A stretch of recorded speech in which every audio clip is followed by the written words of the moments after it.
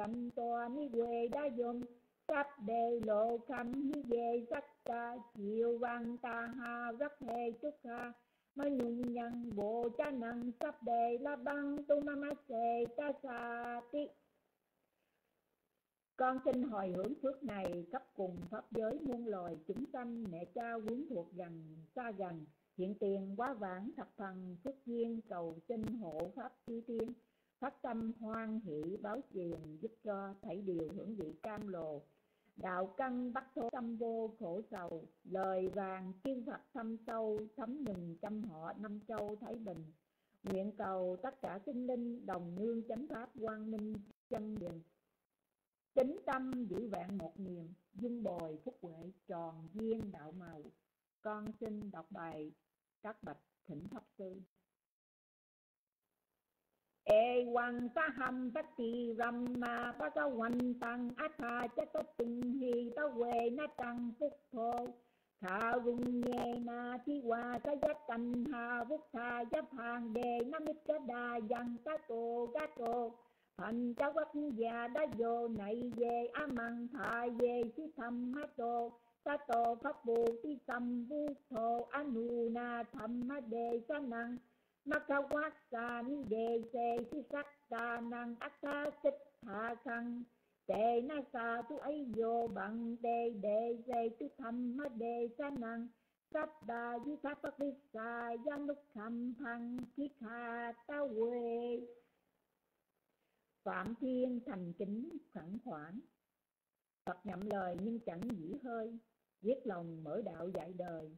Nhắm vườn lộc giả ngày giờ chân sang Thiết pháp độ các hàng đệ tử. Có năm thầy kính dự pháp từ, Đó là nhóm Kiều Trần Như, Được ném hương vị hữu dư niết bàn. Rồi từ đó mở mang giáo pháp 45 hạ giác vẹn toàn, Một lòng chẳng thối không mòn. Những điều lợi ích hằng còn lâu năm, Cả tham giới, Thừa ăn phổ cập đám mưa lành rưới khắp thế gian bởi nhân cớ, Tích rõ ràng, thỉnh ngài thuyết pháp ngôi đàn tự bi chúng sanh ngồi khắp chúng ni tối mê, cầu được trí đi vạn toàn. Ôi, còn hai phút nữa, người đọc bài gì ta? Ok, đọc bài này đi. Karani yamak theo su sa lệ na dành tăng sanh tăng kha đăng apitam hết cha sắc cô u yu ca su u yu ca su vắc cô ca sa mu du anathima ni sanh túc sa cô ca su ta rô ca áp pha kích cho ca sàn lúc ca quốc chi sanh tình ví dụ cha ni phát cô, cha áp pha gáp phô phu lệ cho nút kích thô na cha cu đằng sa mà cha rề trình chứ về na bình nhù ca rề út ca qua đầy dùng chứ khi nộ hòa khề ni nộ hòn tư pháp đề sát ta phá hoàng tư sư ta sa về kệ chi bà nó bù tác ti ta sa hòa tha hòa ra hòa ana hòa se sa đi kha wa về ma hành ta wa mắp chi ma rắc ta ca Anukatula Ditha Wa Ye Wa Ditha Ye Cha Du Re Wa San Ti Quy Du Re Bồ ta hòa sam ba huệ chị hòa sắp đề sắc ta phá hoàng tu sư dít tác ta na phá rồ phá rằng nhất cúc đề sa na ti mạnh nhẹ ta khác ta chi năng trình chi già rồ sa na phật tích ca sanh nhà nành nha mạnh nhạc ta đúc ca mít chạy gia mà ta gia thà mi dân phúc tăng. A du sa e sa phúc ta manu rắc kê. E hoàng đi sắp ba bù tề su ma na sam tha quê về atari ma năng. Mét đăng ca sắp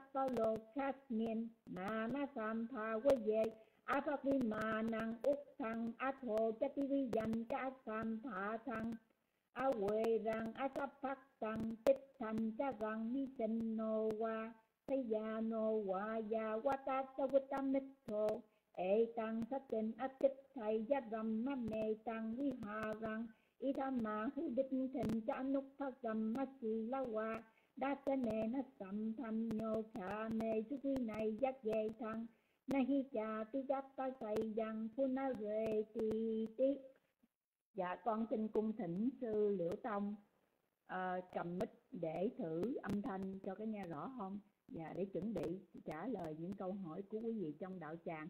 Con xin cung thỉnh sư liễu tông ạ. À.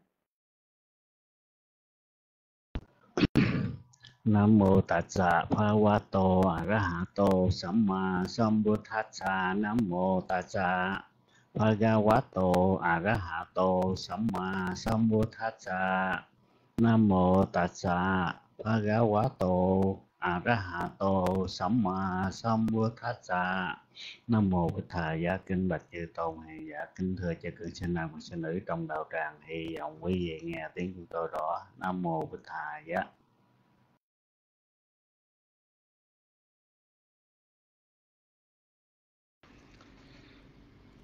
Nam mô Bụt Thà giá, Nam mô Tham Ma giá, Nam mô Sang Khà giá. Con kính đảnh lễ sư Liễu Tông kính đảnh lễ sư Trí Đức, Chư Tôn Đức à, Tăng quý cô tu nữ và xin à, mến chào các anh chị trong à, đạo tràng.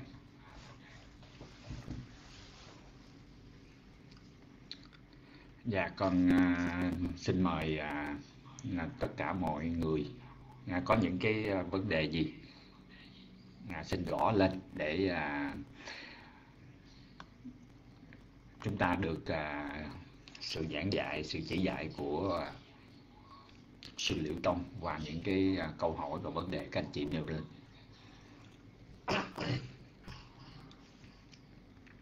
À, xin mời à, các anh chị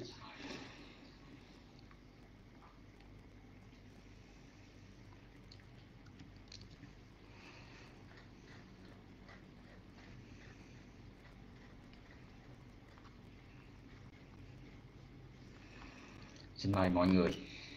Dạ con à, kính mời à, sư ly trà.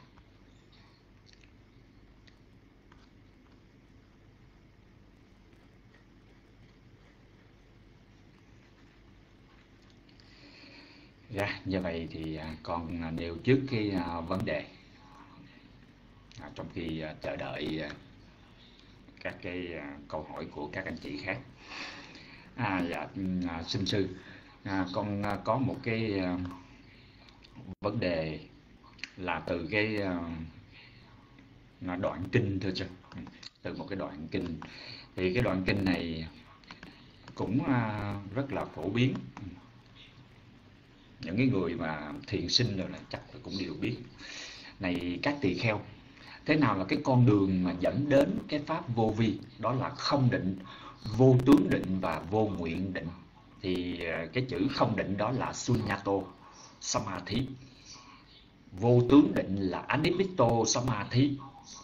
Còn cái vô nguyện định đó là appanihito, samadhi. Này các tỳ kheo, đây là con đường dẫn đến cái pháp vô vi. Thì ở đây con có một cái điểm thắc mắc đó là, ở đây dùng cái chữ là samadhi, mà ở trong 40 cái đề mục của thiền định thì không có cái đề mục của à, không vô tướng và vô nguyện. Thì theo như chú giải thì không định vô tướng định vô nguyện. Định này là định trên cái tướng tam tướng dạ, định trên cái à, vô ngã định trên cái tướng vô thường và định ở trên cái tướng khổ của danh sắc. Nhưng mà như vậy là thiền quán thì sau đây là gọi là, là samadhi thưa sư. À, như vậy thì mình hiểu cái chữ samadhi ở chỗ này như thế nào. Dạ, con kính à, gửi mic để cho sư giảng giải về cái vấn đề này.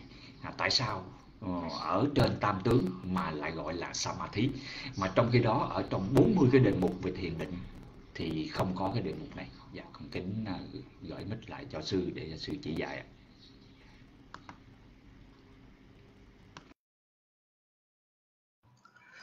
Nam mô Bổn Thầy dạ kính bạch chư tôn hiền dạ kính thưa chư quý vị và kinh này là nói tới cái ờ, cái pháp hành của cái người đang hành thiền minh sát.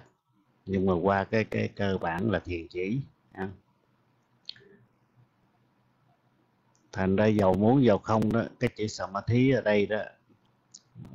Nhiều khi mình dịch mình dịch ờ, theo cái kiểu thiền chỉ, thiền định ờ, samadhi như thế nào thì cái đó nó rất là khó hiểu.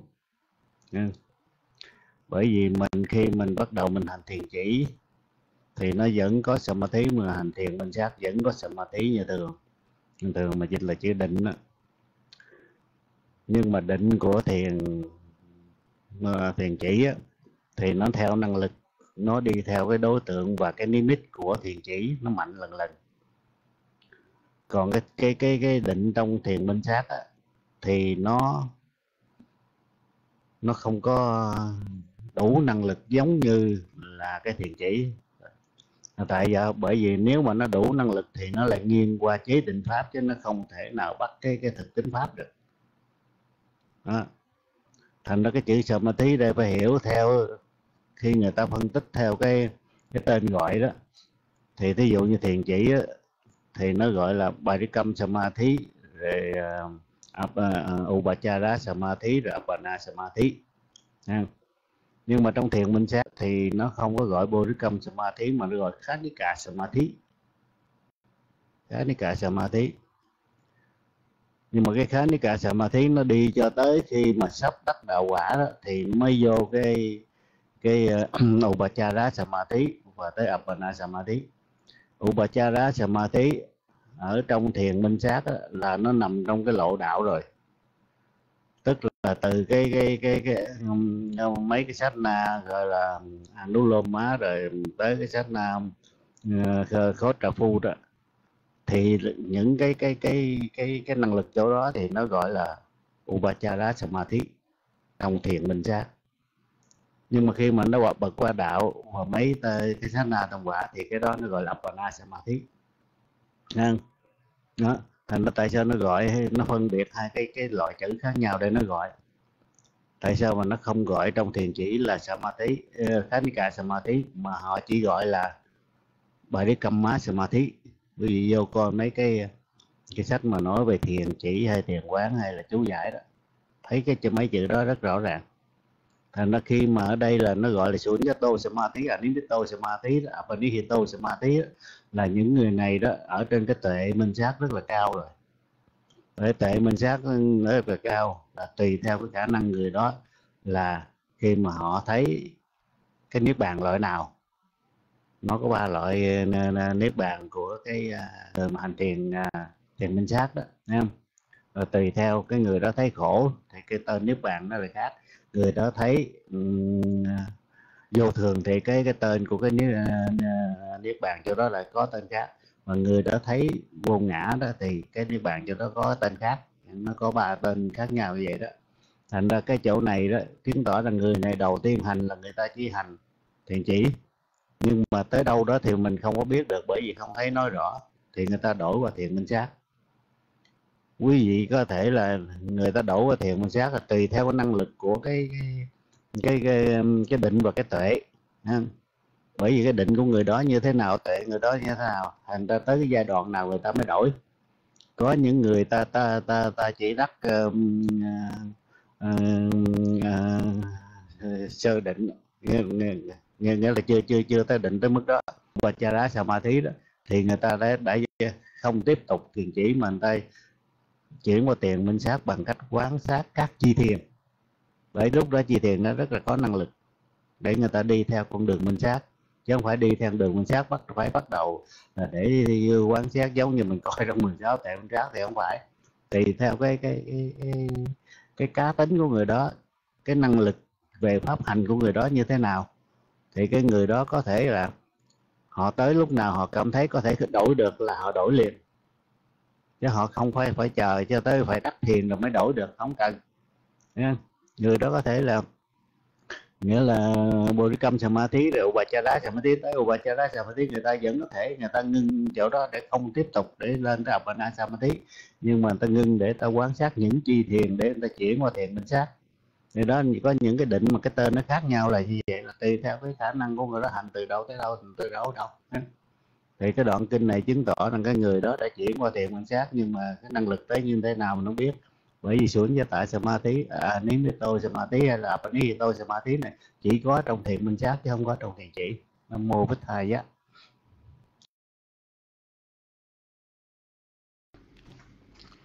Nam mô bút thà dạ dạ sa thú tha thú.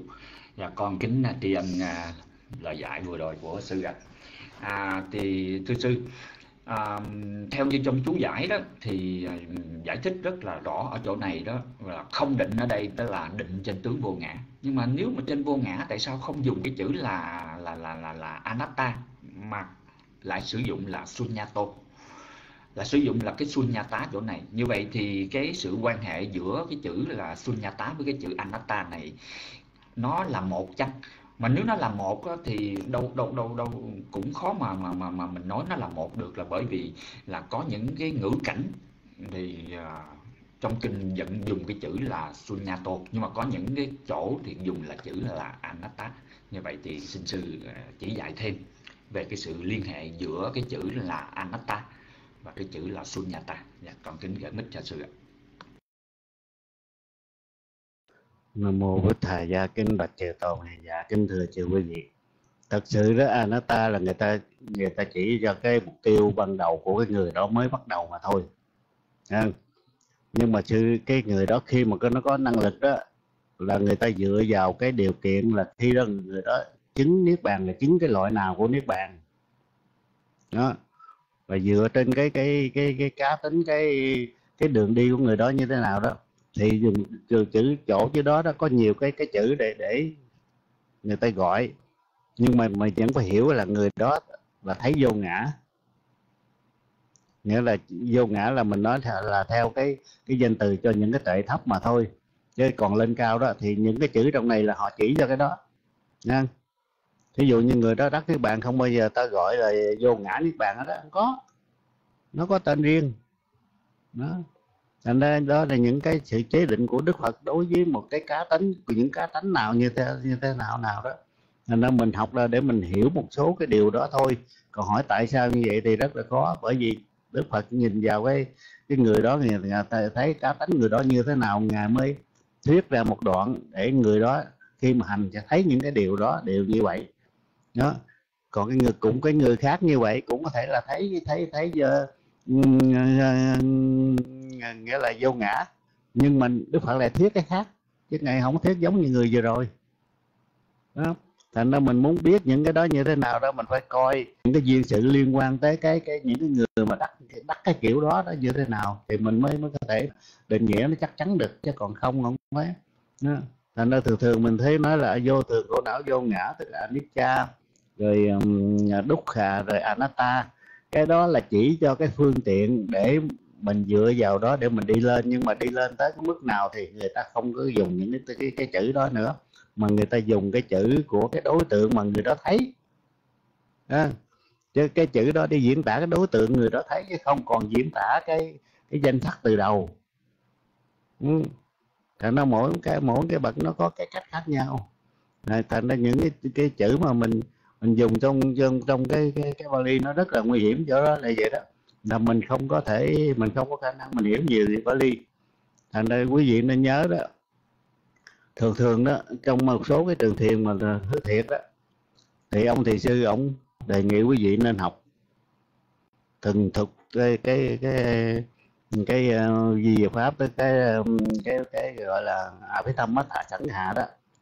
Rồi cái thứ hai là phân tích những cái cái liên quan à, phải tâm mắt hạ sẵn hạ nó gọi là nết tị và karana mà chúng tôi biết là Việt Nam không bao giờ để cái việc đó, cái cái cái quyển nết tị và karana đó. Là phân chia rất rõ ràng rất là chi tiết những cái đó. Ví dụ như cái đoạn đó, cái tên đó như vậy, nhưng mà lên tới đoạn cao cái tên đó nó như thế nào? Nét tị bạc nó thì khi người nào mà học cái nét tị bạc ná rồi đó, người đó có khả năng nghe một chữ Bali thôi. Là người đó có khả năng là lấy ra được chi pháp, tức thực tính pháp của cái chữ Bali đó, chứ không phải nó thành nó dựa vào đó thành nó có những cái chữ nó khác nhau mà mình không có ờ, không có ờ, nắm vững cái những cái điều mà được nói trong cái ờ, nét tỳ bạc đó. Thành nó có nhiều cái mình rất là, là nghĩa là không hiểu nó như thế nào nó nó nó tùm lum lại phải nó ví dụ như ngay cả một cái câu mà ví dụ như ông ngài Ananda ngài nói là Eva mê sự tăng đó. Ngay chữ chữ e văn nó cũng có thực tính pháp của nó mê nó cũng có thực tính pháp của nó. Đó. Ví dụ như chữ ờ, ê văn đó là cái gì? Nó chỉ cho sẵn gia tức là trí nhớ của quý vị đó nha của ngài Nanda nhớ gì? Là, là chỉ cho niệm mà cho ờ, trí tuệ ha còn chữ mê đó là chỉ cho khảnh há tức là nói tới ngài Ananda. Sự tăng là cái cái cái cái, cái, cái sự nghe đó là nó là cái gì liên quan tới sổ ờ, sổ tạo ba xạ tức là nghĩa là ờ, ờ, nhĩ nhĩ gì? Ờ, cái, cái sắc thần kinh nhĩ à. nó mình bắt được những cái đó liền thì nó mình mới hiểu được mấy cái này chứ nếu mình không bắt được đó mình nghe một câu Bali rồi mình không bắt được thử tính pháp rất là nguy hiểm cho mình đi điều mình đoán là, là không nên trong Bali liên quan tới những cái lời dạy Đức Phật không nên đoán đoán nhiều khi đoán trật lắc nam mô bích thai giá.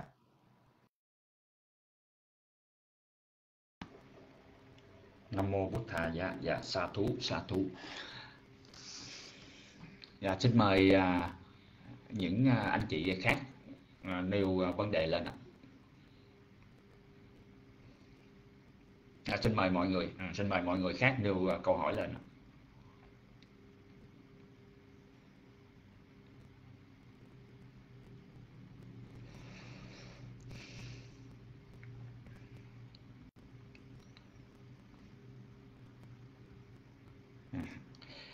Không ai nêu ờ, vấn đề gì sau. Ừ.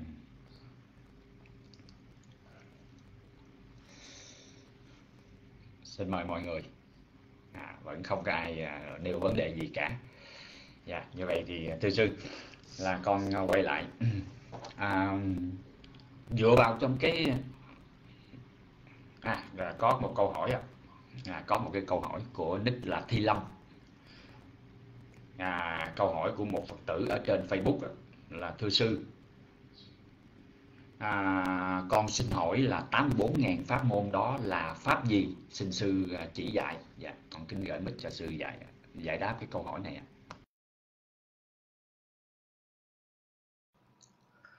Nam mô Bổn Thầy gia kính bạch chư tôn. Dạ kính thưa cho quý vị. Hiện thường là trong cái Bali là 84 ngàn pháp quẩn. Tức là 84 cái tập hợp pháp mà Đức Phật dạy trong suốt cái thời gian của ngài. Giảng dạy đó 84 ngàn rồi đó. Nó, cái tầng lục nó có 20 và 21 ngàn. Tầng kinh nó có 21 ngàn. Và tặng gì về pháp thì có 84 ngàn. Và pháp quẩn nhưng mà cái danh từ của bên hệ phái bắt truyền theo gọi là pháp môn. Thì là 84 ngàn bài tập hợp pháp. Mình nói một tám bốn ngàn bài cũng được tập hợp pháp thì cái câu này mình muốn biết, mình dựa vào cái lời của ngài Ananda mà trình với chư thân đó. Tức là chính ta, tôi nghe từ kim khẩu của đức thế tôn. 84 82 à, hai ngàn tập hợp pháp, tức là 82 ngàn pháp quẩn và hai ngàn pháp quẩn khác từ các bạn đồng không hạnh. Thành ra đó là, nghĩa là 84 cái cái cái bài pháp ngắn dài tùy theo tùy theo tùy theo cái đó ví dụ như ờ, trong ờ, trong cái lời giải thích cái chữ pháp quẩn là gì? Pháp quẩn tức là một một đoạn pháp, một câu hay một đoạn vậy đó. Mà người đó có thể dựa vào đó để liên hệ với các pháp khác mà có thể tu tập để đắc được pháp cao thượng. Thì cái đó gọi là một pháp quẩn.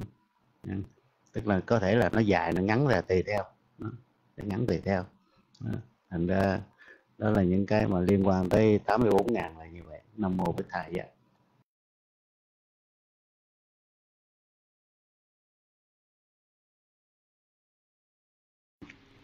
nam mô bút thà dạ dạ kính tri ân sư về lời dạy vừa rồi ạ. Rồi, xin mời anh ra chị khác nêu vào vấn đề tiếp. Để chúng ta được à, sự chỉ dạy qua những cái câu hỏi mà các anh chị nêu lên ạ.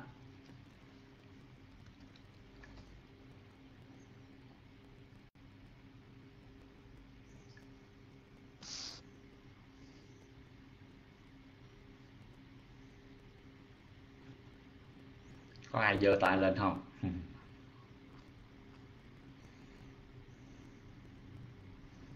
rồi như vậy thì con à, xin à, nêu vấn đề để được sư à, chỉ dạy ạ à. tức là con vẫn lấy lại cái à, đoạn kinh vừa rồi con vẫn dựa trên cái đoạn kinh vừa rồi là dạy về cái con đường à, tu tập để mà dẫn đến sự chứng ngộ của cái à, pháp vô vi đó là sunyato Samadhi, Anipito Samadhi và Apanihito Samadhi không định, vô tướng định và cái vô nguyện định. Thì dựa vào cái bài kinh này có quan điểm người ta mới đặt cái vấn đề, người ta hỏi như vậy. Như vậy thì rõ ràng là kinh này đó là, là gì? À, cái con đường mà dẫn đến cái pháp vô vi đó, đó chính là gì? Ngay ở trên cái pháp hữu vi. Là bởi vì cái tướng không vô tướng và vô nguyện này là tam tướng này là nó ở trên pháp hữu vi. Như vậy thì à, thông thường thì cái pháp mà chân đế vô vi nó có thể nói là nó có những cái tính chất mà nó đối nghịch với lại cái pháp hữu vi. Nó đối nghịch hoàn toàn với pháp hữu vi. À, một pháp hữu vi là do nhân duyên. Pháp vô vi là không do nhân duyên. Pháp hữu vi thì là có sanh có diệt. Còn pháp vô vi thì là không có sanh không có diệt vân vân. Nói chung là hoàn toàn là những cái đặc tính nó hoàn toàn nó trái ngược thì người ta hỏi là như vậy thì có một số người sẽ hiểu rằng là cái cái cái cái pháp vô vi và cái pháp hữu vi là nó loại trừ lẫn nhau. Nhưng mà rõ ràng á là ở trên cái đoạn kinh này á, là chúng ta chỉ có thể tìm được pháp vô vi ngay trên pháp hữu vi mà thôi. Nếu ai đó có cái ý niệm rằng là cái pháp vô vi nó nằm riêng biệt ở bên ngoài pháp hữu vi thì nó bị mâu thuẫn với lại cái đoạn kinh này. Là bởi vì trong cái đoạn kinh này dạy rõ ràng là gì? Là cái con đường mà dẫn đến sự chứng ngộ được cái pháp vô vi. Đó là định tâm ở trên tam tướng. Mà tam tướng là pháp hữu vi. Như vậy thì chỗ này chúng ta nên à, giải thích như thế nào là sự và con kính gửi mít cho sự dạy về cái vấn đề này. Nam mô với Thầy Gia Kính Bạch Chư Tôn Hàng Dạ Kính thưa cho quý vị. Quý vị nên hiểu cái, cái chữ vô vi ở đây là chỉ cho Niết Bàn. Nghe bởi vì cái pháp vô vi đó, Người ta dịch nhiều nhiều nhiều chữ Việt mình có biết chứ, mà chữ vô vi trong cái đoạn kinh này chỉ Niết Bàn. Không? Thì Niết Bàn nó thật sự ra đó, hỏi nó dựa vào đâu, nó không dựa vào đâu hết á. Vậy nên nhớ vậy chúng tôi chưa tới đó, nhưng mà chúng tôi dựa vào những pháp học để chúng ta giải thích như vậy. Cái người bắt đầu đi là cái người bắt đầu để dựa vào pháp nào để đi? Dựa vào danh sắc tức là pháp hữu vi. Rồi người đó đi bắt đầu đi từ từ từ từ đâu là từ từ đâu? Là tệ thứ nhất tệ thứ hai tệ thứ ba tệ thứ tư cho tới tệ thứ mười. 12, 13, 13 là cốt trao phu, 14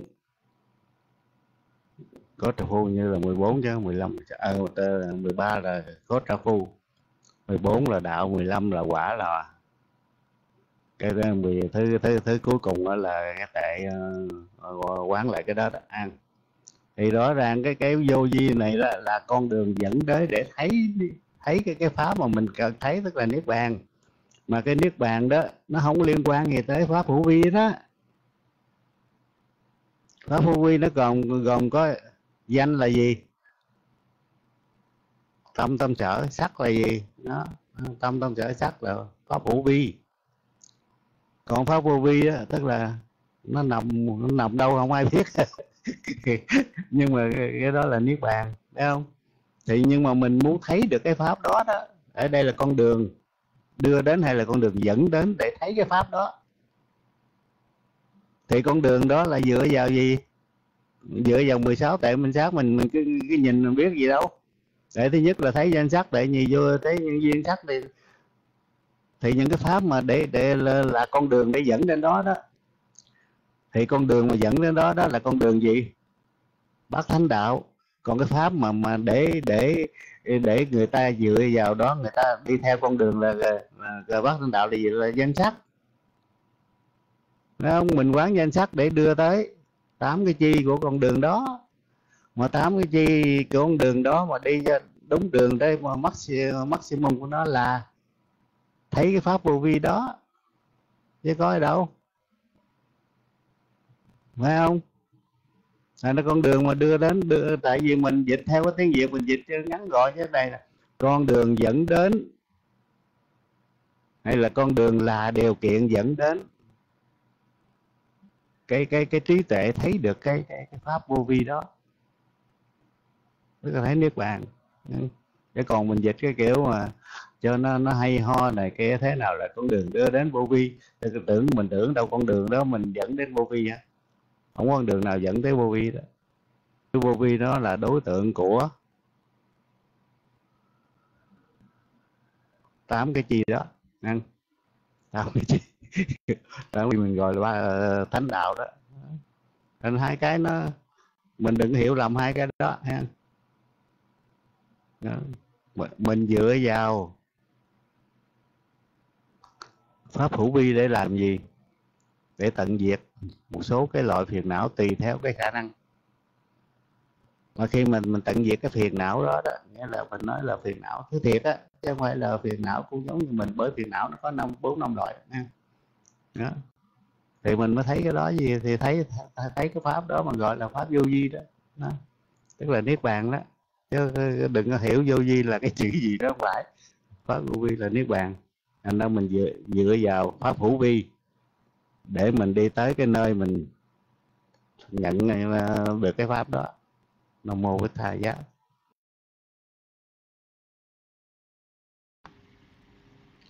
Nam mô Bụt tha Dạ, dạ con kính triền à, lời dạy của sư ạ. À, xin mời mọi người nữa. À, con à, xin dừng lại để mà xin mời mọi người. À, nêu vấn đề lên.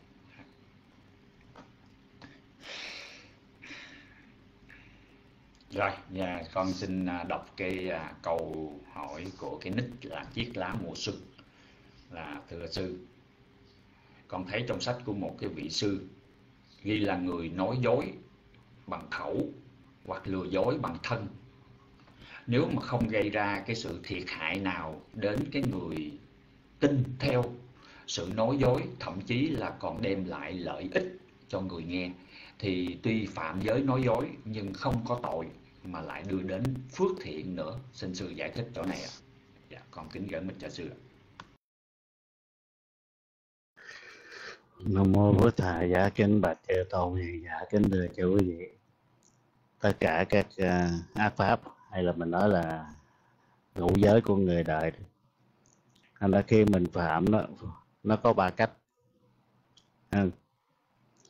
Cả hai cùng phạm và càng người người làm phạm nhưng mà người nghe thì không phạm. Hoặc là người làm không phạm mà người nghe phạm. Cả ba điều đó đều xấu cả. Chứ làm sao mà có chỗ nào là à, không có tội mà có phước được. Ừ. Đó. Ví dụ giờ mình nói đi, mình nói cái điều không thật. Thì cái người nghe có thể tin hay không tin? Họ không tin thì họ vẫn có tiền, được thiện pháp thì cái chuyện đó, cái lợi của họ, còn mình mình nói người ta không tin, nhưng mà nó có hại cho mình chứ. Làm sao không có hại được. Mà mình nói mình nói dối, người ta tin cái điều nói dối thì cái hại nhiều, hại cả hai. Còn nếu người nghe không tin thì hại người nói, chứ làm sao không hại được. Mình nói dối có lợi cho người, nhưng mà nó có hại cho mình mà người nói dối có hại cho mình cho người là hại hết. Phải không? Hoặc là mình ờ, mình nói dối đó thì chắc chắn là trước sau gì cái người nói ra nó, nó đều có lỗi hết chứ làm sao không lỗi được. Còn cái người nghe có lỗi thì không có lỗi như gấp ba chuyện người nghe có thể có lỗi có thể không có lỗi. Nhưng mà người nói là chắc chắn phải có lỗi rồi. Chứ làm sao không lỗi được khi mình nói nói cái điều không không đúng ra là chắc chắn là mình phải lãnh đủ. Dầu rằng người nghe có thể không lãnh, người ta không tin sao người ta lãnh được. Nhưng mà mình nói là mình lãnh đủ thì sao không lãnh được. Ví dụ cái dễ hiểu thường thường nhất đó, là ví dụ gì bác sĩ đó. Người ta nói nói để cho bệnh nhân được vui lòng, đừng có bệnh thêm này kim sùm đó. Thì bệnh nhân đó có thể là họ hưởng lợi, nhưng mà vị bác sĩ chắc chắn là không có là hưởng lợi rồi, nha. Ừ hưởng tiền thì có nhưng mà hưởng lợi thì không có. Bởi hưởng tiền chỉ xài cho kim này nhưng mà khi tắt thở phải đi xuống chứ không có đứng nào mà đi lên. Thành ra không nên nói dối hay là không nên làm à, cái chuyện gì mà xấu xa thì tốt. Chứ đừng có nói là ôi tôi làm nó có lợi cho người ta tôi không có tội nó chơi cho nó thiệt không có đúng. Nam mô bổn thầy dạ.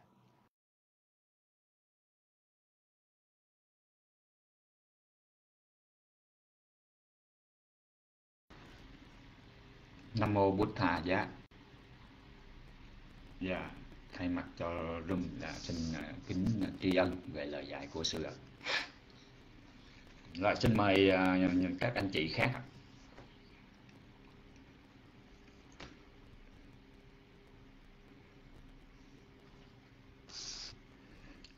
rồi dạ, xin mời mọi người. À, room hôm nay cũng đông nè. Dạ, xin mời mọi người nêu tiếp tục các cái câu hỏi cái vấn đề à, thắc mắc cá nhân. Để làm cái bài học chung cho đạo tràng ngày hôm nay.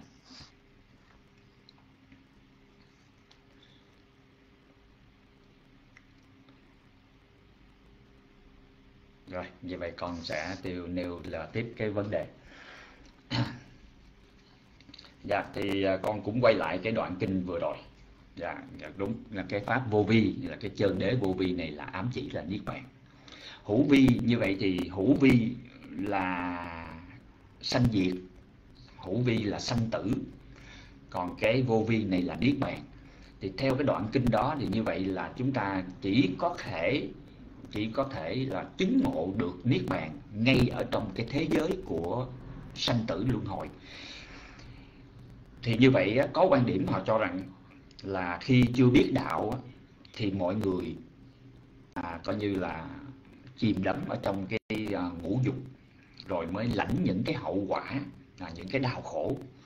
Rồi bắt đầu mới biết lãnh cái cái hậu quả đau khổ. Rồi sau khi họ biết đạo rồi thì bắt đầu mới thấy rằng là à nhận diện ra được cái sự khổ và họ nhàm chán họ sợ cái sự hiện hữu. Tức là trước khi biết đạo thì họ ham thích vào cái sự hiện hữu. Nhưng mà khi đã bắt đầu biết đạo thì họ lại bắt đầu là họ ham thích cái sự là không hiện hữu.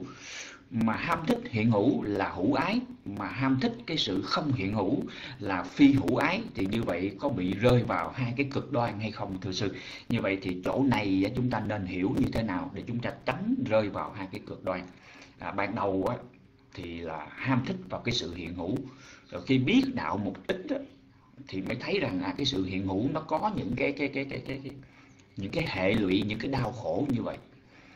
Thì bây giờ họ mới lại ham thích vào cái sự gọi là không còn hiện hữu nữa là phi hữu ái. Ví dụ như vậy thì chỗ này nó có bị rơi vào hai cái thái cực hay không? Dạ còn kính gửi mít để cho sư chỉ rõ về cái vấn đề này giúp mà điều chỉnh cái à, nhận thức nó chân chánh và còn kính gửi mít cho sư. Nam mô bổn thầy giả kính bạch chư tôn. Này giả kính thưa chư quý vị. Thật sự ra mình nói ờ, ví dụ mình thích thì là một chuyện, mình không thích là nó đi ngược lại. Nó vẫn là một chuyện chứ không thể nào là hai chuyện đó đó à. bởi vì mình ờ, mình thích thì là thọ hỷ nhưng mà mình không thích. Nó vẫn là thọ xả chứ nó chưa tới thọ u. Là nhớ chị à, thì nó vẫn là một chuyện thôi. Nó chứ làm sao thành hai chuyện được. Nếu mình nghĩ mà hai chuyện là là không phải rồi.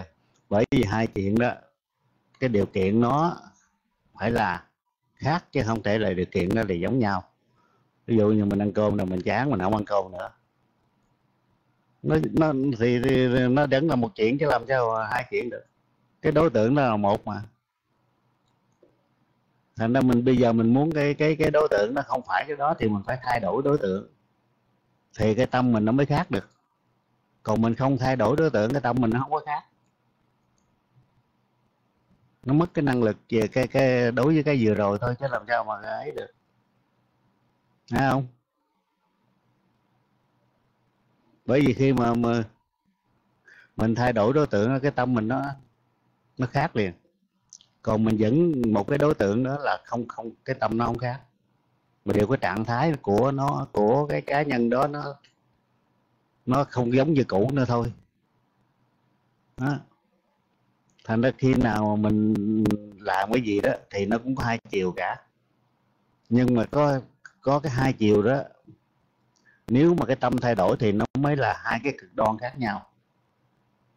Nhưng mà nếu mà mình không thay đổi đối tượng thì nó vẫn là một cực đoan mà thôi nhưng mà nó nhẹ lại hay là nó như thế nào đó là theo cái điều kiện của cái cái tâm mình lúc đó chứ không thể nào là là à, thành à, thành à, một, một cái cực, cực khác đối với cái cũ được. Đó. Khi nào mình muốn ấy thì mình cứ nghĩ mình đụng trường hợp đó huynh đụng hợp huynh nhìn lại cái tâm huynh ờ, quán tâm đi. Thì thấy xem như sao biết liền à. Đó. Nó không thể nào là, là, là hai cái đối cực khác nhau được. Chỉ một đối cực thôi nhưng mà nó nó nhẹ nhẹ hoặc là nó có những cái cái điều kiện khác nhưng mà vẫn ở trong cái cái cái cái, cái, cái con đường dẫn tới đối cực đó mà thôi chứ không thể khác được. Nam mô bích thầy giá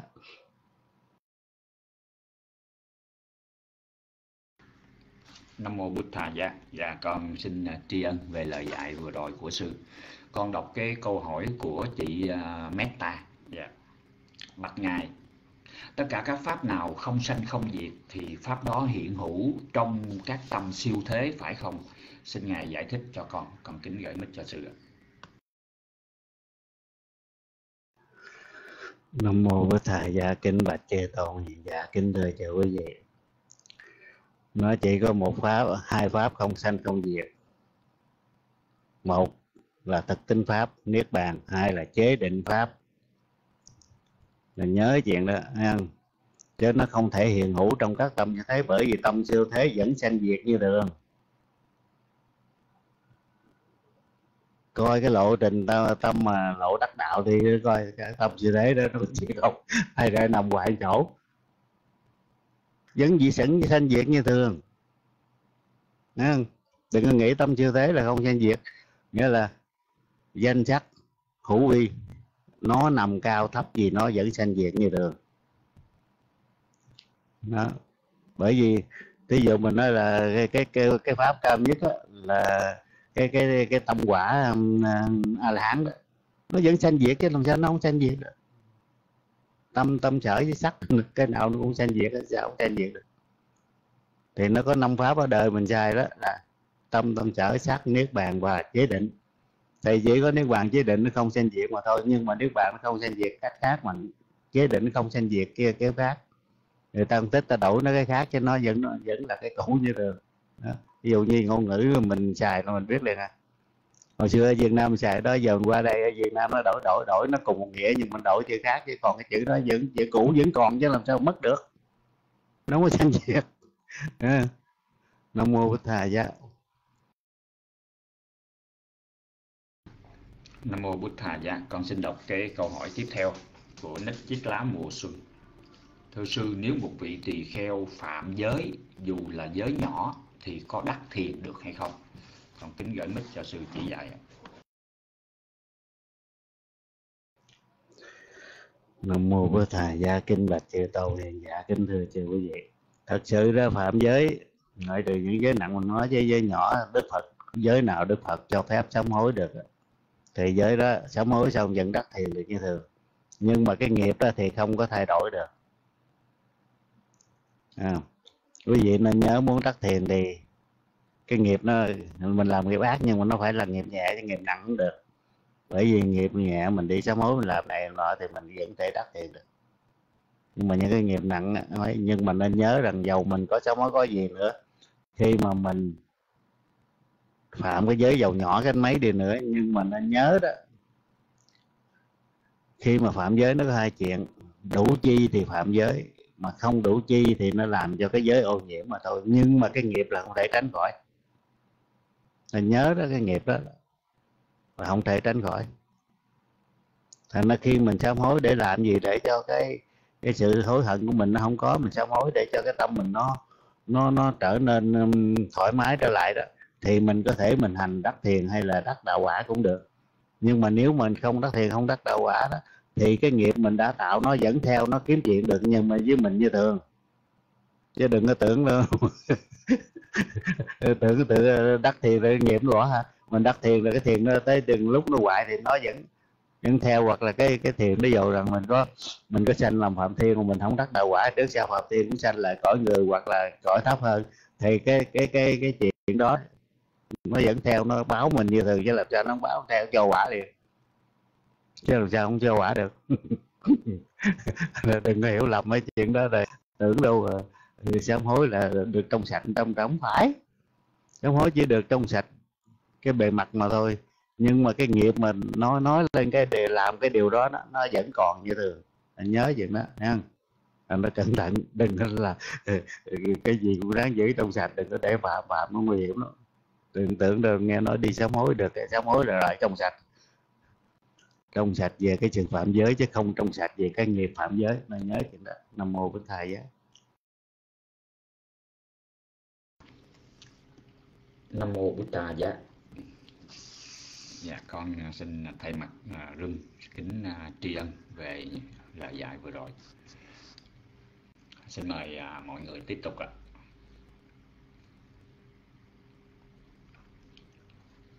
À, xin gửi uh, lại cho gửi mic ha. Mời uh, nick nguyên trang.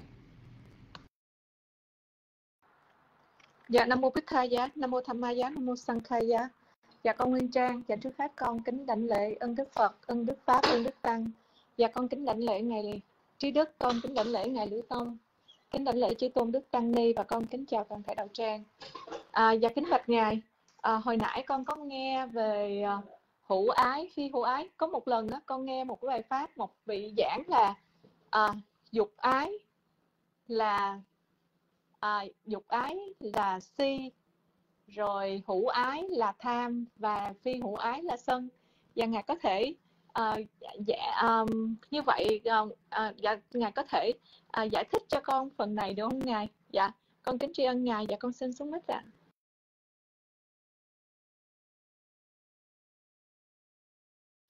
nam mô Bích thầy dạ kính bạch chư tôn. Dạ kính chịu gì nói lại cho rõ ràng chứ nói kiểu đó nghe chưa nghe lùng bùng quá chưa hiểu. Nam mô Bích thầy dạ dạ dạ có một lần con nghe một bài cái bài giảng có một vị giảng đó ngài nói là cái dục ái dục ái mình có là dục ái là là si hữu ái là tham và phi hữu ái là sân dạ thính thưa ngài có thể uh, giải thích cho con được rõ về cái phần này được không ạ à? dạ con kính tri ân ngài ạ à. dạ con xin xuống mất ạ à.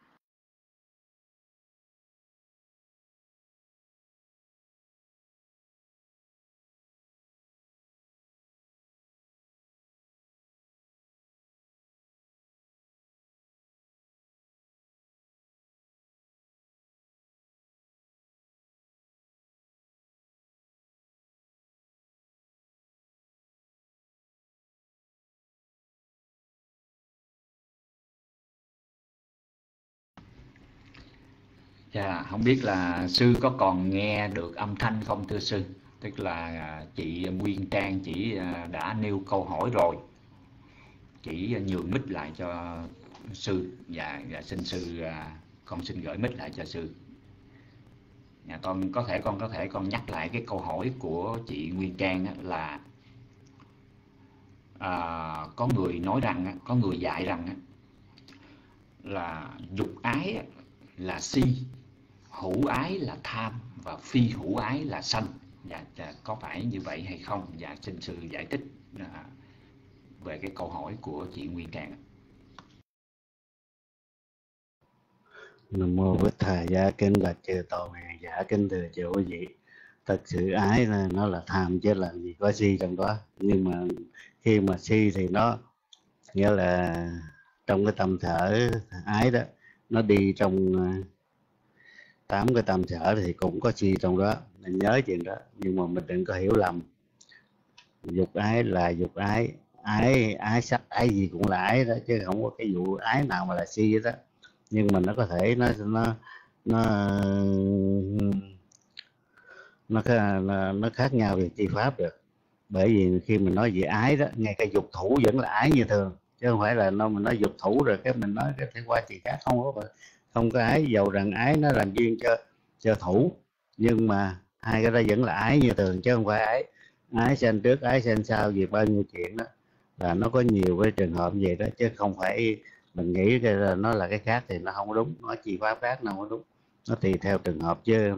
Chứ còn nếu mà mình nói cái đó thì nó không có, nó không có chính xác. Chúng tôi thì à, nó có nhiều cái chuyện mà nhiều khi mình không có không có đủ khả năng để mà tìm hiểu à, một số cái chuyện mà liên quan tới vấn đề mấy cái cái pháp mà ấy đó, thì thật sự ra đó, ái thì là ở nơi nào thì họ cũng chỉ nói có sáu loại. Tức là sắc ái, rồi thì thinh ái, rồi Ờ, cái gì cái gì đó. Tức là nó sáu loại đối tượng đó. Thì thì sự thích thú trong cảnh sắc sự thích thú trong cảnh thinh sự thích thú trong cảnh hương sự thích thú trong cảnh vị sự cảnh thú thích thú trong cảnh xúc sự thích thú trong cái cái cảnh đó. Thì đó là những cái mà nó liên quan như vậy. Nhưng mà mình nói gì ái thì nó sẽ chia ra nhiều trường hợp lắm. Trường hợp thứ uh, thứ nhất là dục ái trường hợp thứ hai là hữu ái. Và trường hợp thứ ba là à, uh, phi hữu ái thì phải. Dục ái là ca má tanh hả hữu ái là phá quá tanh hả và ừ, uh, phi hữu ái là quý phá quá tanh hả à, thì bây giờ để giải thích coi cho biết là dục ái đó thì nó nó thích trong cái gì? Cái sự mong mỏi trong sáu cạnh trần cảnh dục đó thì thường thường ta gọi là dục ái. Cái thứ hai hữu ái là gì? Sự thích thú trong các cảnh nhưng kèm theo có tà kiến. Cho rằng những cái đó là nó trường tồn thì cái hữu ái là nó đi đôi với thường kiến. Và tâm sở tham mà là, mà trong tâm tham ái trong tâm sở tham đi đôi thường kiến.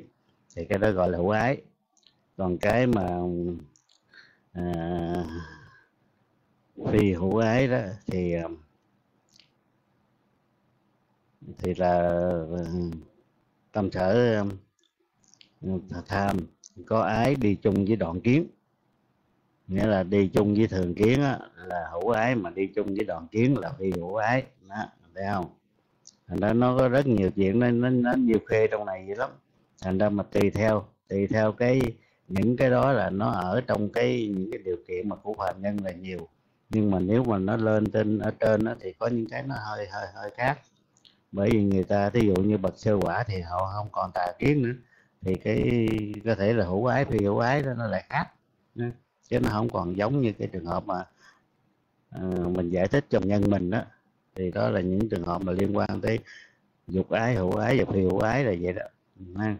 Dục ái thì nó liên quan tới cảnh trần cách à, uh, chung chung. Còn nếu mà mình nói là hữu ái á thì sự thích thú trong cũng trong các cảnh như vậy. Nhưng mà có thường kiến, có tà kiến là thường kiến. Mà phi hữu ái đó thì mình cũng thích thú trong cái cảnh như vậy. Nhưng mà nó đi chung với đoạn kiến. Đó. Đó. thì ái trong sáu cảnh. Nhưng mà cái cái sự suy nghĩ nó lại không có giống như cái trên là nó nó gọi là đoạn kiến là gì đó. Thì nghĩa là trong ái có tà kiến thì chia làm hai tức là ái có có um, thường kiến á, là hữu ái mà ái có đoạn kiến á, thì là phi hữu là, là phi hữu ái đó. thì chỉ trả lời tóm tắt vậy thôi chứ còn mấy cái này thì mình nó quay nói chứ không hiểu rõ ràng được có những cái danh từ hay là những cái ừ, cái pháp mà mà pháp hành mình nó còn yếu quá nó không có hiểu được nhiều nó chỉ trả lời dân tắt mấy cái cái ái dục nhờ như vậy. Nó mô bổn thầy dạ. Dạ sa thú sa thú. Dạ con à, kính tri ân ngài rất nhiều ạ. À. dạ ngài à, con có một cái thêm một cái thắc mắc nữa là con xin uh, um, con có học cái uh, um, cái đoạn kinh ở trong câu pháp cú đó.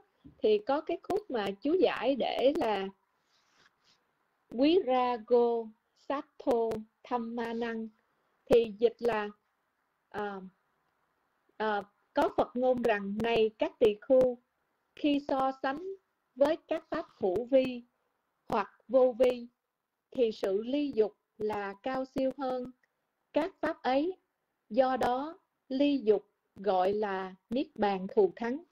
Và kính thưa ngài ở, ở trong đây đó ngài ở trong đây là nói rằng là này các thiệt khu khi so sánh với các pháp hữu vi hoặc vô vi thì sự ly dục là cao siêu hơn pháp ấy hơn các pháp ấy. Do đó ly dục gọi là niết bàn thù thắng. Và kính thưa ngài có thể à, ngài có thể à, chỉ dạy cho chúng con được rõ hơn là cái à, tại sao gọi là cái à, sự ly dục cao siêu hơn là hữu vi. À, và vô vi hoặc vô vi ạ. À. dạ con kính dân mít lại cho ngài con xin xuống mít ạ à. Nam mô Bồ Tát. Dạ Gia Kinh Bạch Chư Tôn Hiền Giả Kính Thưa Chú quý vị. Sự ly lục là Pháp vô vi thôi Chứ làm sao cao siêu hơn Pháp vô vi được? Cao siêu hơn Pháp hữu vi là đúng. Tại vì Pháp hữu vi á Tức là uh, danh sắc thuộc về hiệp thế một pháp vô vi niết bàn tức là nó là siêu thế rồi đó, thì sự sự ly dục của ờ, mình tức là mình diệt hết tất cả những cái cái cái, cái liên quan tới phiền não đó à. thì mình mới, mới mới mới mới tới đó nhưng mà thật sự ra đó nếu mà nói theo chi tiết đúng theo gì pháp đó, thì cái người ly dục đó là cái đó là phải là bậc tứ thánh quả ừ còn cái bậc tam quả đó chỉ ri, ri dục là dục cái kiểu mà dục ở cõi ờ, cõi dục thôi. Nhưng mà cái cái cái cái cái cái sự tham ái ở cái cõi sắc hay cõi vô sắc vẫn còn. Thành ra vẫn còn tái sanh à. đó. Còn cái bậc sơ quả nhị quả đó thì ái vẫn còn. Đó. Thành ra khi nói tới cái cái ái mà mà cao thượng đó, tức là cái ái đó là phải phải là sự ly dục một trăm phần trăm phải là sự đi dụng trong trăm. Bởi vì cái dục á, nó nằm trong tám tâm tham. Mà tám tâm tham á thì cho tới bậc a la hán mới diệt được. Bậc như nhị, nhị quả tam quả nhị, nhị, bậc nhất quả nhị quả đó thì chỉ diệt có bốn cái tâm tham đầu thôi. Còn bậc tam quả chỉ diệt hai tâm sân chứ còn tham thì chưa diệt được. Thành ra vẫn còn ái dụng như thường chứ làm sao mà không còn được. Đó. Thành ra chỉ có bậc a la hán đó mới lại ly dục một trăm phần trăm. Thành ra cái sự ly dục nó đó, của bậc a la hán nó mới là cao thượng, bởi vì nó liên quan tới các ờ, các pháp vô vi được dầu rằng sơ quả, tam quả như quả vẫn thấy các pháp vô vi như thường, nhưng mà thật sự ra các vị đó vẫn còn ái như thường, chứ làm sao chấm dứt được. Thành ra sự cao thượng ở đây chỉ là sự ly dục trong pháp vô vi, tức là sự cao thượng đó chỉ có bậc a la hán mà thôi. Nam mô với thầy giác Dạ sa thú sa thú. Dạ con uh, kính tri ân ngài, ngài đã uh, giảng dạy cho câu hỏi để con uh, được hiểu rõ hơn ạ. À. Um, dạ con xin hỏi thêm một câu nữa. dạ bạch ngài, khi mà con thấy uh, những mà cư uh, cư sĩ Phật tử mà đảnh lễ uh, uh, uh, quý sư đó thì con thấy có vị á, thì là uh, đảnh lễ ngay cái bàn chân của uh, uh, sư rồi có người đảnh lễ khi mà cũng như mình đảnh lễ có nhiều khi à, mình úp cái bàn tay xuống à, và có nhiều khi mình đảnh lễ mình ngửa cái bàn tay lên thì những cái đảnh lễ đó đó ngài nó có cái ý nghĩa gì không ngài và con kính xin ngài có thể uh, chỉ dạy cho con được uh, hiểu rõ hơn ạ à. và con xin dân ích lại cho ngài ạ à. nam mô bích thà gia kinh bạch địa tàu hiện giả dạ, kinh thừa cho quý vị thật ra đó là người ta dựa vào một số cái điều kiện từ xưa tới giờ đó mình gọi là xưa bài nay làm đó. Là nó tùy theo người cái người mà đánh lễ mà mà đụng vô bàn chân đó thì thường người ta dựa theo cái tích mà lúc mà, à, mà đức phật à, thành đạo rồi về thăm gia đình đó. Thì ngài vô ngài thăm uh, cô à, bà gì? Mình mình gọi vợ thì họ không có đúng. Đó. và trước trước là vợ của bồ tát đó ha. Thì chính bà đó đó phải dùng cái đầu để lên à, à, hai cái bàn cái bàn chân của đức phật. Nên như vậy ta thấy cái đó hay ta làm. Nhưng mà thật sự ra đó người nữ mà đảnh lẽ ông sư làm vậy không có được. Bởi vì người nữ mà đụng vô ông sư là ông, là ông sư ông giật mình ông té ra chứ không giận à, không có được. Ừ à, là ờ, tùy theo cái đó chứ không có gì bắt buộc hết đó nhưng mà theo này trong luật mà được chế định á thì cái cách cái cách ờ, quỳ ờ, đảnh lễ là nó có khoảng cách. Và hai tay úp xuống nha cái cách đó gọi là ngũ thể đầu địa hay ngũ thể hà điền đó, bên chân khá và điệt thạ nha gọi là ngũ thể đầu địa hay ngũ thể hạ địa gì tùy theo cái mình dịch. Tức là cái đầu xuống đất hai cái bàn tay úp xuống. Không phải là để phía trước mà để hai bên này để cái đầu vẫn đụng đất được như thường. Đó. Còn hai cái um, cái cùi chỏ thì đụng hai đầu gối đối với người đàn ông. Còn hai cái cùi chỏ để uh, bên ngoài hai, hai cái đầu gối đối với đàn bà. Còn cái chân thì ờ, à, ấy cao lên. Đối với đàn ông mà đàn bà thì thẳng cái chân thẳng ra tức là nguyên cái bàn chân là thẳng ra luôn chứ không có cong dưới bàn chân lại. Đó. Thì đó cái cách mà ngũ thể hạ địa hay ngũ thể đầu địa đó là có cách được ghi trong luật đàng hoàng. Nha. chứ còn cái chuyện mà ừ, đánh lễ như thế nào đó là tùy theo cái phong tục của người ta và người ta thấy sao tiền lợi cho người ta người ta làm thôi. Nhưng mà trong trong luật của đức phật thì làm đúng cách là phải là như vậy. Tại sao mà người à, người nữ là phải thẳng thẳng à, à, chân ra từ đầu gối ra tới uh, ngón ngón cái luôn chứ không có cong lên giống như đàn ông. Tại vì người nữ cái phần sau nó hơi cao nếu mà cong lên vậy đó thì khi mà xuống vậy đó thì nó đưa cái cái cái dưới cái mông lên là cao quá nó, nó trông nó kỳ cái thứ hai tại sao hai tay phải kẹp hai đầu gối? Tại vì người nữ là hồi xưa người ta mặc người ta không có giống như bây giờ là ta đặt đồ đàng hoàng mà có giải quấn quấn quấn này là nhiều khi để hở cái cái ngực ra người ta phải che hai bên lại. Còn người đàn ông thì không có che. Nên nó, nó khác nhau là tại vì có những cái chuyện mà xấu xa đưa tới tới tay của ờ, Đức Phật thành ra ngài mới chỉ cách cho mình đánh lễ vậy thành ra quý vị là Phật tử nên tìm hiểu cái ngũ thể đầu điệu ngũ thể hạ điện đó mà đánh lễ cho nó đẹp cho nó chắc ăn. Chứ không nên bắt chước người đời trông nó không giống ai hết. Nó mô với thầy giá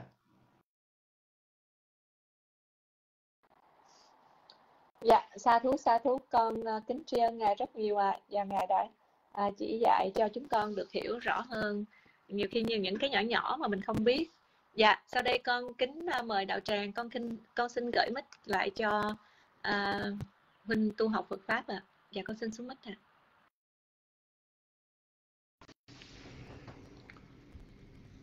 Nam mô Bụt Thầy dạ. dạ con kính uh, tri ân về lời dạy của sư. Dạ xin cảm ơn chị uh, Nguyên Trang.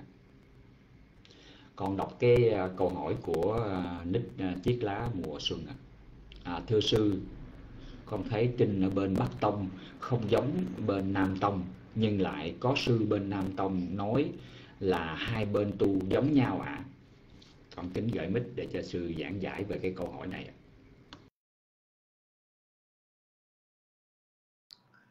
Nam mô Bổn Thà Giá, kinh bạch chư tôn, dạ kính thưa chư vị, tu thì giống nhau nhưng mà hành có giống nhau hay không là chuyện khác.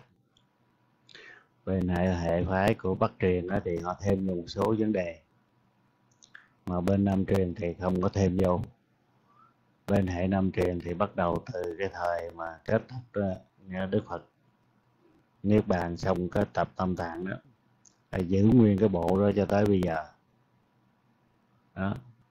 Chứ không có thêm, không có bớt. Còn bên bắc tông thì tại vì họ truyền qua, họ tới tây tạng thì họ bớt mớ thêm mớ. Mà họ truyền vô tàu thì quý vị biết mấy ông chợt này ông thích ông thêm, mà ông không thích ông bớt đó. Thành ra bên bên uh, nguyên thủy giữ giới ông sư giữ giới thì ờ, hai trăm hai chục giới cộng thêm bảy giới về pháp ờ, về thân sự nữa là hai trăm bảy giới. Trong khi bên bắc long hai trăm bốn tám giới hai trăm năm giới. Bên người nữ bên này thì uh, tỳ cô ni bên nguyên thủy thì ba trăm mười một giới trong khi tỳ cô ni bên kia là ba trăm bốn mươi tám ba trăm năm chục giới. Đó vậy thấy không? Thành ra người ta cứ như vậy là nó, nó phải khác nhau chứ sao? Đó okay. kinh nó thì thường thêm vô. Có ờ, khi mà họ thêm vô cái lúc nào cái lúc trần quyền trang đi qua đó à, ông mà được uh, mấy ông chạch à, dinh danh là tam tạng pháp sư. Tam tạng pháp sư. Ừ. ông đi qua ông lãnh nhầm cái bộ lúc đó là à, tùm lum hết rồi ông lãnh nguyên cái bộ đó về rồi ông dịch ra ông dịch sao không biết. Mà không biết ông lãnh cái bộ nào thì cũng không ai biết. Tại vì ông dịch ra xong rồi cái ông thủ thiên mất cái bộ ông đi lãnh ra giờ không ai biết cái bộ như nào đây giờ nó tùm lum đó. Còn còn bên nguyên thủy là có chứng minh đàng hoàng. Nguyên thủy quý vị nhiều khi thấy ông sư thái hay là ông sư miến điện tụng khác là tại vì cái những có những cái âm bên thái nó không có mà miếng điện nó có hoặc ngược lại bên thái nó có có bình tích lan nó không có. Mấy cái nước theo Phật giáo thị đó. Thành ra quý vị có thể nghe cái âm nó hơi sai nhưng mà thật sự ra đó nó vẫn là cái bộ từ cái, cái lần cái tập tam tạng đầu tiên cho tới bây giờ vẫn xài như thường chứ không có cái gì mà sai đó thành ra quý vị nên nhớ đó họ nói tu giống nhau là giống cách tu tức là tu là cạo đầu. Đó vậy thôi. Chứ còn bên đó họ mặc ờ, ông sư bên nguyên thủy chúng tôi thì à, mặc áo không tay mặc quần không ống. Đó. còn bên ờ, bên uh, hệ uh, bắc tông thì mặc áo có tay mặc quần có ống mà sao giống nhau được? Gì đấy coi. Thì ông sư nguyên thủy mặc cái gì? Em mặc áo thì không có tay mặc quần không có ống. Đó còn bên ờ, uh, bắc tông thì mặc áo có tay quần có ống nó nhìn thấy nó không giống nhau rồi chứ làm sao giống được. Nhưng mà họ nói là chuyện còn quý vị tin bên nào thì cứ theo. Rồi mai mốt gặp diêm dương thì biết liền gì đâu biết mình sai hay đúng liền gì đâu sợ. Nam mô bích thầy dạ.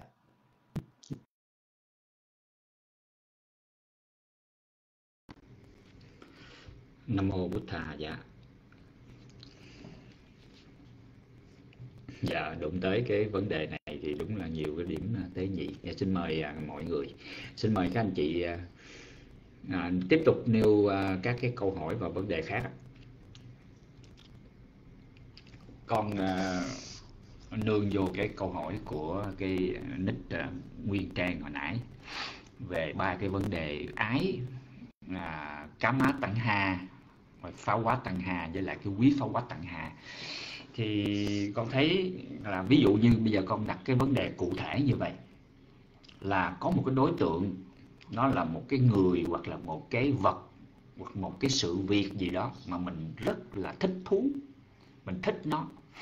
Và mình ngấm ngầm à, có thể là ở trên bề mặt ý thức chúng ta không có nêu ra nhưng mà chúng ta vẫn có một cái ngấm ngầm là gì? Muốn nắm giữ cái đó nó tồn tại mãi thì phải chăng cái ý muốn đó là hữu ái. Tức nghĩa là cái gì mình thích mà mình muốn nó mình muốn giữ nó được mãi thì phải chăng đó là hữu ái? Và chính cái hữu ái này nè nó sẽ dẫn tới cái khổ. Là bởi vì sao? Cái gì nó cũng vô thường nó có thì nó phải mất. Như vậy thì hữu ái là tập đế. Và do vô thường nó sẽ dẫn tới cái khổ là khổ đế. À, lại bây giờ một cái đối tượng mà con không thích một cái sự việc mà con không thích ví dụ như là bệnh là con không thích rồi. À, con ghét con sợ ví dụ như vậy. Thì phải chăng cái đó là là phi hữu ái? Mà như vậy á, khi cái phi hữu ái mà mình xét trên cái khía cạnh như vậy rõ ràng nó là tâm sân có phải không thưa sư? Đó, như vậy thì con nêu cái vấn đề cụ thể. Chúng ta muốn nắm giữ mãi một cái đối tượng mình thích phải chăng đó là hữu ái? Chúng ta không thích chúng ta ghét chúng ta tránh chúng ta trốn tránh những cái mình không thích. Phải chăng đó là phi hữu ái? Mà phi hữu ái như vậy bản chất của nó là tâm sân có phải không? Dạ, còn kính gửi mít để cho sư chỉ dạy rõ hơn ở cái vấn đề tập đế này Nam mô Bổn Thầy giá kính bạch chư tôn dạ kính thưa chư vị. Thì hồi nãy chúng tôi nói rất là rõ ràng. Hữu ái tức là cái ái mà đi chung với thường kiến. Bởi vì ái thì ờ, bốn tâm đầu tiên là nó có tà kiến mà nếu mà đi chung với thường kiến á, thì nó là hữu ái. Mà đi chung với đoạn kiến thì nó là phi hữu ái. Mà mình là đem chi pháp ra mình nói đây nó rất là rõ ràng. Một anh thì cái ái là nó nó đi chung với thường kiến. Ta, ta, thành ra ta mới đẻ ra chữ hữu ái. Còn một cái đó là nó đi chung với đoạn kiến thì là phi hữu ái tức là nó không có được trường tồn. Tức là có đoạn kiến. Ví dụ như mình vẫn thích, nhưng mà cái thích đó nó không giống như cái thích của cái cái anh ờ, hữu ái. Dầu rằng hai cái ờ, hai cái thích đó nó đều có tà kiến, nhưng một cái tà kiến là thường kiến, cái tà kiến là đoạn kiến, hai cái nó khác nhau là chỗ đó chứ. Thành ra người ta mới giải thích là tại sao gọi là hữu ái mà gọi là phi hữu ái. Chứ người ta không có giải thích là hữu ái là dính dấp trong cái ờ, cảnh giới ờ, này là ờ, sắc giới còn phi ái là gì cảnh giới vô sắc không có. Cái đó thì ở đâu giải thích chúng tôi không biết. Nhưng mà theo là duy uh, pháp thì giải thích rõ ràng. Hữu ái là tâm sở ái đi chung với thừa, thường kiến mà phi hữu ái là tâm sở ái, đi chung với đoạn kiến. Nó rất là rõ ràng chứ không có không có thể giải thích khác được bởi giải thích theo chi pháp đàng hoàng. Đó. Còn ờ, dục thủ thì nó, dĩ nhiên là nó có vừa thực kiến vừa tà kiến cái đó là người ta không có nhắc nhưng mà mình phải hiểu vậy. Bởi dục thái sự thích thú trong sáu cảnh có liên quan đến cảnh dục thường tí nó không liên hệ gì đến thường kiến một đoạn kiến cả. Nó thì đó là dục ái. Nó nó không liên hệ là tại vì người đó cái loại từ kiến họ là cái loại tà kiến họ bình thường thôi chứ nó không có ai là uh, bởi vì thường tà kiến nó có sáu hai loại đó. Thành ra cái loại mà ba cái loại mà nặng nhất là thường kiến đoạn kiến hoặc là gì nữa đó. Thường kiến đoạn kiến và cái gì đó. Là ba loại ha. thì bây giờ ở đây đó người ta khi người ta giải thích tại sao gọi là ủ ái đó. Thì người ta giải thích ta dùng cái chi pháp để ta giải thích là sự thích thú trong cái cảnh nhưng có kèm theo tà kiến là thường kiến. Nó còn cái là phi hữu ái tức là cái cái cái ái đó đi chung với tà kiến mà là đoạn kiến. Đó. thì cũng là ái trong sáu cảnh. Cũng chấp nhận bằng, cũng chấp nhận bản ngã, nhưng cái ngã đó nó hoàn toàn tiêu mất. Sau khi chết hoặc là nó tiêu mất, sau khi mình không còn chính dấp vào những trường hợp đó như vậy. Đó thì là thì thì mình nói là liên quan là nó liên quan là tại vì nó là ở trong cái tâm tham và à, trong tham và nó có tà kiến. Nó chỉ có liên quan được rất là vắn vậy thôi ngắn vậy thôi. Nhưng mà tùy theo cái chúng sanh đó chúng sanh đó là cái điều kiện đó cái cái cái tà kiến họ là thuộc loại nào. Đó.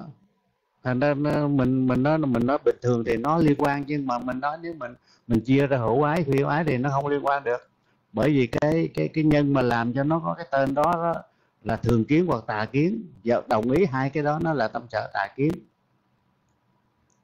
Nhưng mà tà kiến theo loại thường kiến nó khác tà kiến cái loại đoạn kiến nó khác.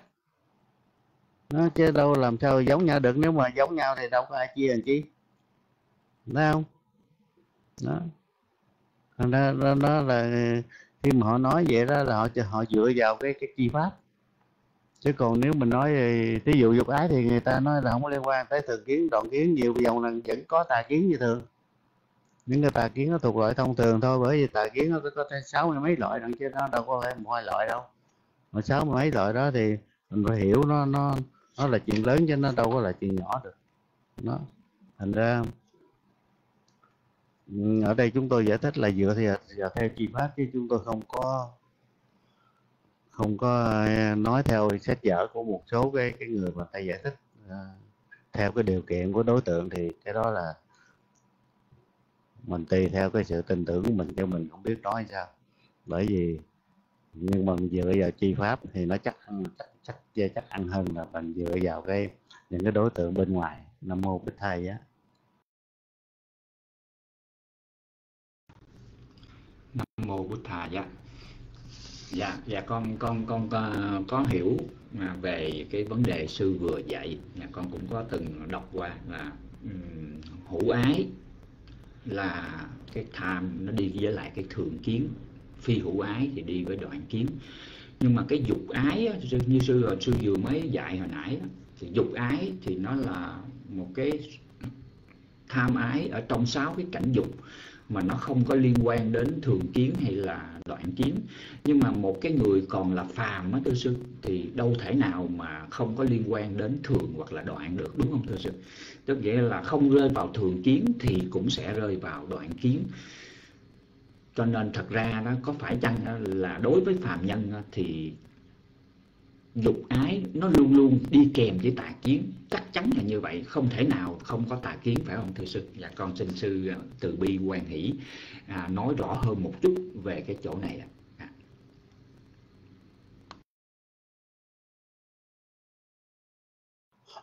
nam mô bổn thầy gia kinh bạch chư to vị dạ kính thưa chư quý vị thì chắc chắn rồi, ái là luôn luôn nó nó có tà kiến chứ sao không có. Nhưng mà tà kiến đó là như như như bây giờ mình nói những người trong room này thì tà kiến là thuộc loại thông thường.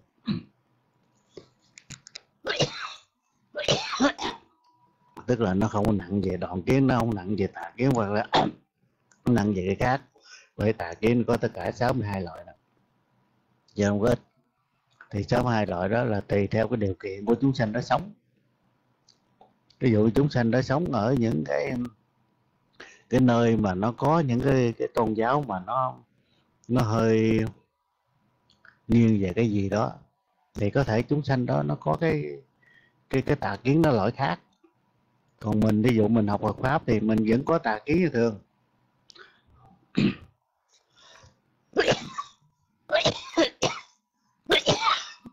bởi vì nếu mình không có tà kiến là mình thành um, bậc sơ quả rồi. Nhưng mà cái tà kiến của mình đó là nó không có nhiều năng lực để được gọi là đoạn kiến hoặc là nhiều năng lực để nghiêng về cái cái cái thường kiến. Có chứ không phải không có. Như người nào nói tôi không có tà kiến là người đó là mình phải bái họ giờ đây họ là bậc thánh bởi vì quý vị nên nhớ bậc sơ quả là diệt được hai cái cái phiền não là tà kiến và hoài nghi. Nó tâm sở tà kiến tâm sở hoài nghi. Thì người mà nói tôi không có tà kiến là người đó là bậc thánh. Còn nếu phải bậc thánh thì người đó nói xạo thôi. Đó. thành ra trong những cái cái cái cái cái, cái, cái nước ờ, mà có được ừ, tu học theo giáo pháp đức phật không ít thì nhiều thì cái đa số những cái người dân đó đó cái tà kiến họ không có không có đủ năng lực để mình gọi là nó nghiêng về cái thường kiến hoặc nghiêng về tà kiến. Ừ. họ vẫn có tà kiến như thường. Những cái tà kiến đó, nó thuộc loại nghĩa là thông thường thôi, trong một, trong sáu, hai loại tà kiến thôi. Chứ không phải là có nó ừ. quý vị đọc trong bài kim Rama Chala Sota đã biết sáu, hai loại tà kiến. Tổng cộng thì có 75 loại tà kiến nhưng mà trong cái cái, cái bài kinh Kalama Sutta thì có đề cập tới 62 loại thôi. Thì thường 62 loại đó đó, đó cái là thuộc loại thông thường là tà kiến. Nhưng mà còn mình nói về cái phương diện mà tại sao họ gọi là hữu ái phiêu ái đó là tại vì tà kiến của cái cái chúng sanh nó có năng lực. Mà nó năng lực theo kiểu nào? Có năng lực theo kiểu thường kiến hoặc là nó có năng lực theo cái kiểu đoạn kiến ví dụ mình nói có người cái kiểu đoạn kiến đó là có nhiều người đó họ làm ác không có sợ. Họ nói ui cái cái cái, cái thân này chỉ có kiếp này thôi chứ cái sau là hết. Thì cái đó là đoạn kiến. Chết là mất rồi. Đó đoạn kiến thấy không?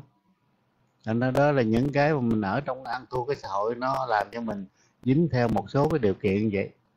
Thành ra trong những bài kinh tại sao họ chia thường thường họ chia là phần đông là như vậy dựa vào những cái đó để họ giải thích. Đó. chứ thời đức phật đó thật sự ra đó, chúng tôi nói nhiều lần là khi ngài nói cái câu, một cái bài pháp hay câu pháp gì đó, là đối với cái người đó đó, cái phiền não họ nhẹ lắm. Bởi vì họ nghe họ đắc rồi, đắc có khả năng đắc đạo quả mà. Thì não họ nhẹ lắm chứ không phải như mình mình ngày, ngày nói từ sáng tới chiều và khi mình chưa đắc gì hết tại vì cái phiền não nó nó không gì chứ nó không có nhẹ giống như thời đức phật. Đó. thấy không? Đức phật ngày phải tốn buổi sáng hoặc là buổi tối là ngày dùng cái giọng trí ngày ngày quét thôi người nào? Nghĩa là những cái phiền não đó nó to nó nhẹ là nó không làm hại tới cái việc mà à, tính pháp. Thì ngài mới nói nghe không? Chứ còn nếu mà nó đổ nó nặng nề nói có thể đâu tin mình nhiều khi nó còn ấy nữa. Nên quý vị đừng có nghĩ rằng cái người gặp được phật là luôn luôn người tốt không có đâu. Ví dụ như mấy cái người mà vô nghe pháp đàng hoàng rồi cái đủ bị ngoại đạo này ấy thì, thì ra du cống đức phật rồi có thai có bầu rồi thì kiếm dùm thấy không? Cũng vô nghe pháp mà không biết nghe cái gì. Chỉ để làm bậy thôi. Đó mà cái người làm mà nhiều người làm bậy không phải là người ngu, người dốt gì đâu. Cái ông ờ, cái ông mà ông gì? Ông ờ, ông đó hình như là trai vợ phải không? Trai vợ bồ tát phải không? Ông vua gì đó, ông vua gì mà chặn đường không cho đức phật đi đi theo mình đó. Đó, thấy không? Tứ thiệt không có chứ. Nhưng mà cái nghiệp mình đó mình mình nó nhớ là mình khinh thường nghiệp mình là mình từ chết thì bị thương thôi. Cái nghiệp nó ghê gớm lắm trên không có nhẹ. À, nó có rất nhiều năng lực mà mình không để ý. Thí dụ như mình coi trong kinh điển là cái ờ, cái thanh niên sổ ra giá đó. Thấy gì sư đẹp ra cái cái nghĩ nghĩ vậy chỉ có nghĩ vậy không mà, mà biến thể được thấy không? Chứ mình đừng có tưởng là mình phải làm rồi mới không có cái ý nghiệp nó nhiều khi nó còn khủng khiếp hơn cả cái thân nghiệp với khẩu nghiệp nữa. Đó. nó cái chuyện mình mình mình mình cái tâm mình mà nó có thường kiến đoạn kiến đó, là cái tâm mình nó tào lao dữ lắm nó mới có những cái loại đó. Ừ. Mà những người đó, đó họ làm họ không làm bậy thôi chứ họ làm bậy là tứ tiệt hết là chỉ có diêm dương mới mới, mới giang tay đón họ thôi nha. Thành ra cái nghiệp mình nói ý nghiệp mình tưởng đâu nó bình thường chứ quý vị đọc thông tin nhiều khi đấy là biết, chứ không quay về đâu.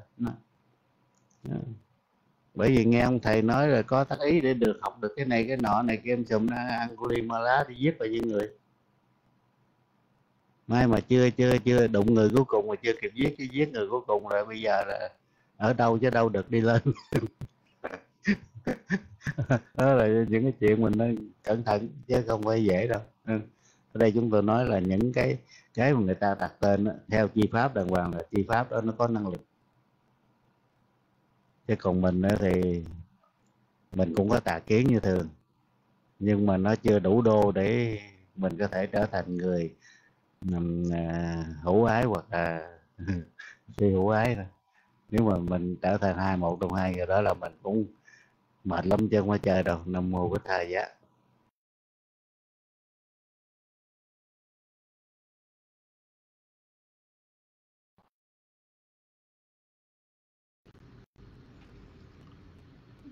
Nam mô bút tha giá. Dạ con kính uh, tri ân sư à, hồi nãy có cái à, uh, nick là từ mẫn á. Nhà xin mời à, uh, nick từ mẫn giơ tay lên. Là chúng tôi xin nhường mic lại. Rồi xin.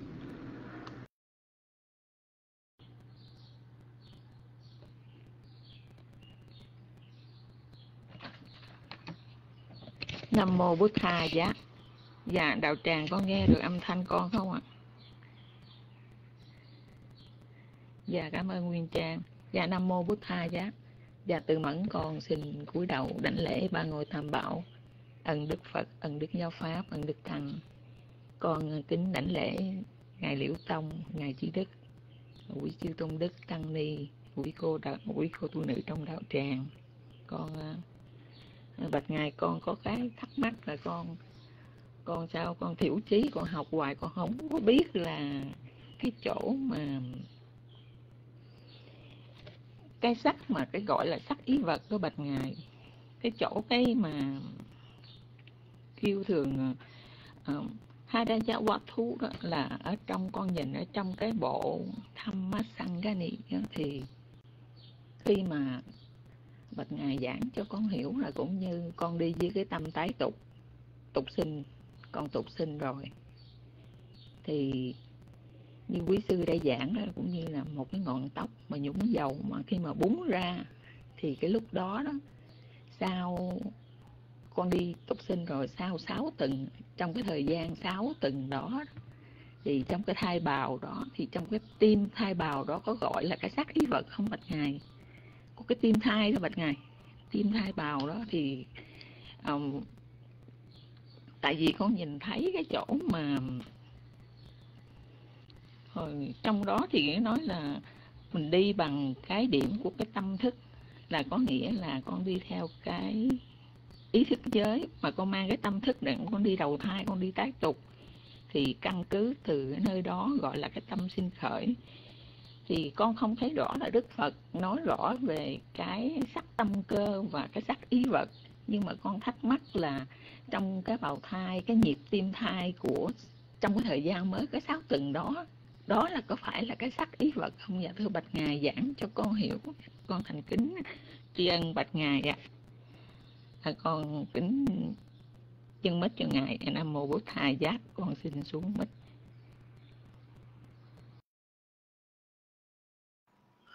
Nam mô Bổn Thầy Gia kính bạch chư tôn Dạ kính thưa quý vị. Ngay cái sách tâm đầu tiên là đã có sắc ý vật rồi, chứ làm sao chưa có được. Quý vị coi ba cái trục sắc cái ba chục cái sắc đầu tiên của cái tâm tái tục đó là ca giá pha quá và quách thụ. Tức là đã lúc đó cái tâm đầu tiên là là đã có biết nam nữ rồi phải có ca giá pha quá thụ là có cái tim luôn đó rồi chứ. Nhưng mà cái tim giờ nó nằm ở đâu ngay cái mình sống hỏi tim đâu cũng biết đâu nó cái đó, cái đó cái tim đó không phải là cái trái tim người ta tìm là khác.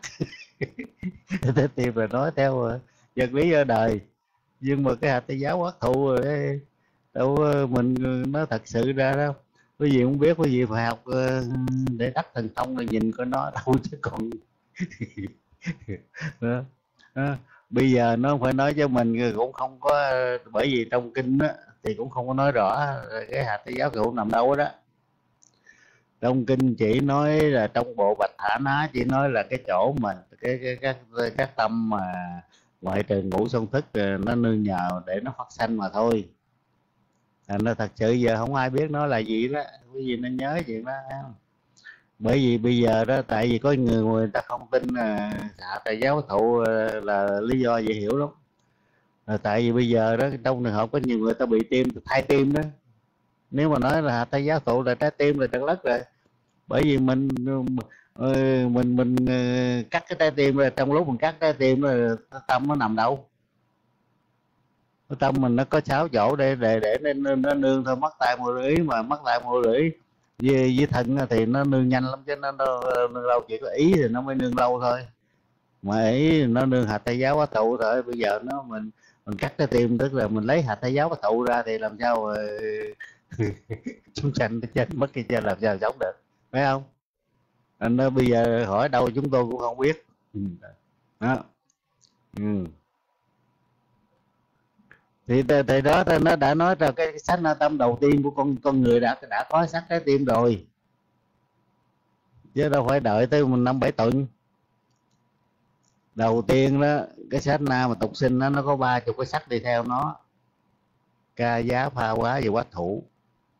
Ca giá có 10 loại phá quá có 10 loại. Hạch tỷ giá quá tụ cũng đi theo 10 loại. Là có nó rồi chứ sao không có. Nhưng mỗi nó nằm đâu? Lúc mới ra cái chút xíu thì ờ, nó còn nằm ở trong cái um, uh, cái chỗ đầu thai ở trong lòng người mẹ đó mà có biết cái gì đâu ấy. Thôi mấy cái này đó nguyện đi thì gặp Phật Di Lai ngày Di Lặc ra đời gặp rồi hỏi ngài cái câu hỏi chúng tôi cũng chịu chết. chúng tôi không khả năng trả lời đâu. Không biết nó nằm đâu cả. Mấy cái đó là nó nhỏ lắm nhưng mà ngay cái sách sách na tâm đầu tiên tức là cái sách na tâm tế tục mình nó đã có cái cái cái hạt giáo quá tụ lúc đó rồi. Đi theo đó. Tức là một cái tâm mười mấy tâm sở đi theo nó và ba chục sắc. Mình nhớ cái đó đầu tiên đã đã là có rồi. Nam mô của thầy giá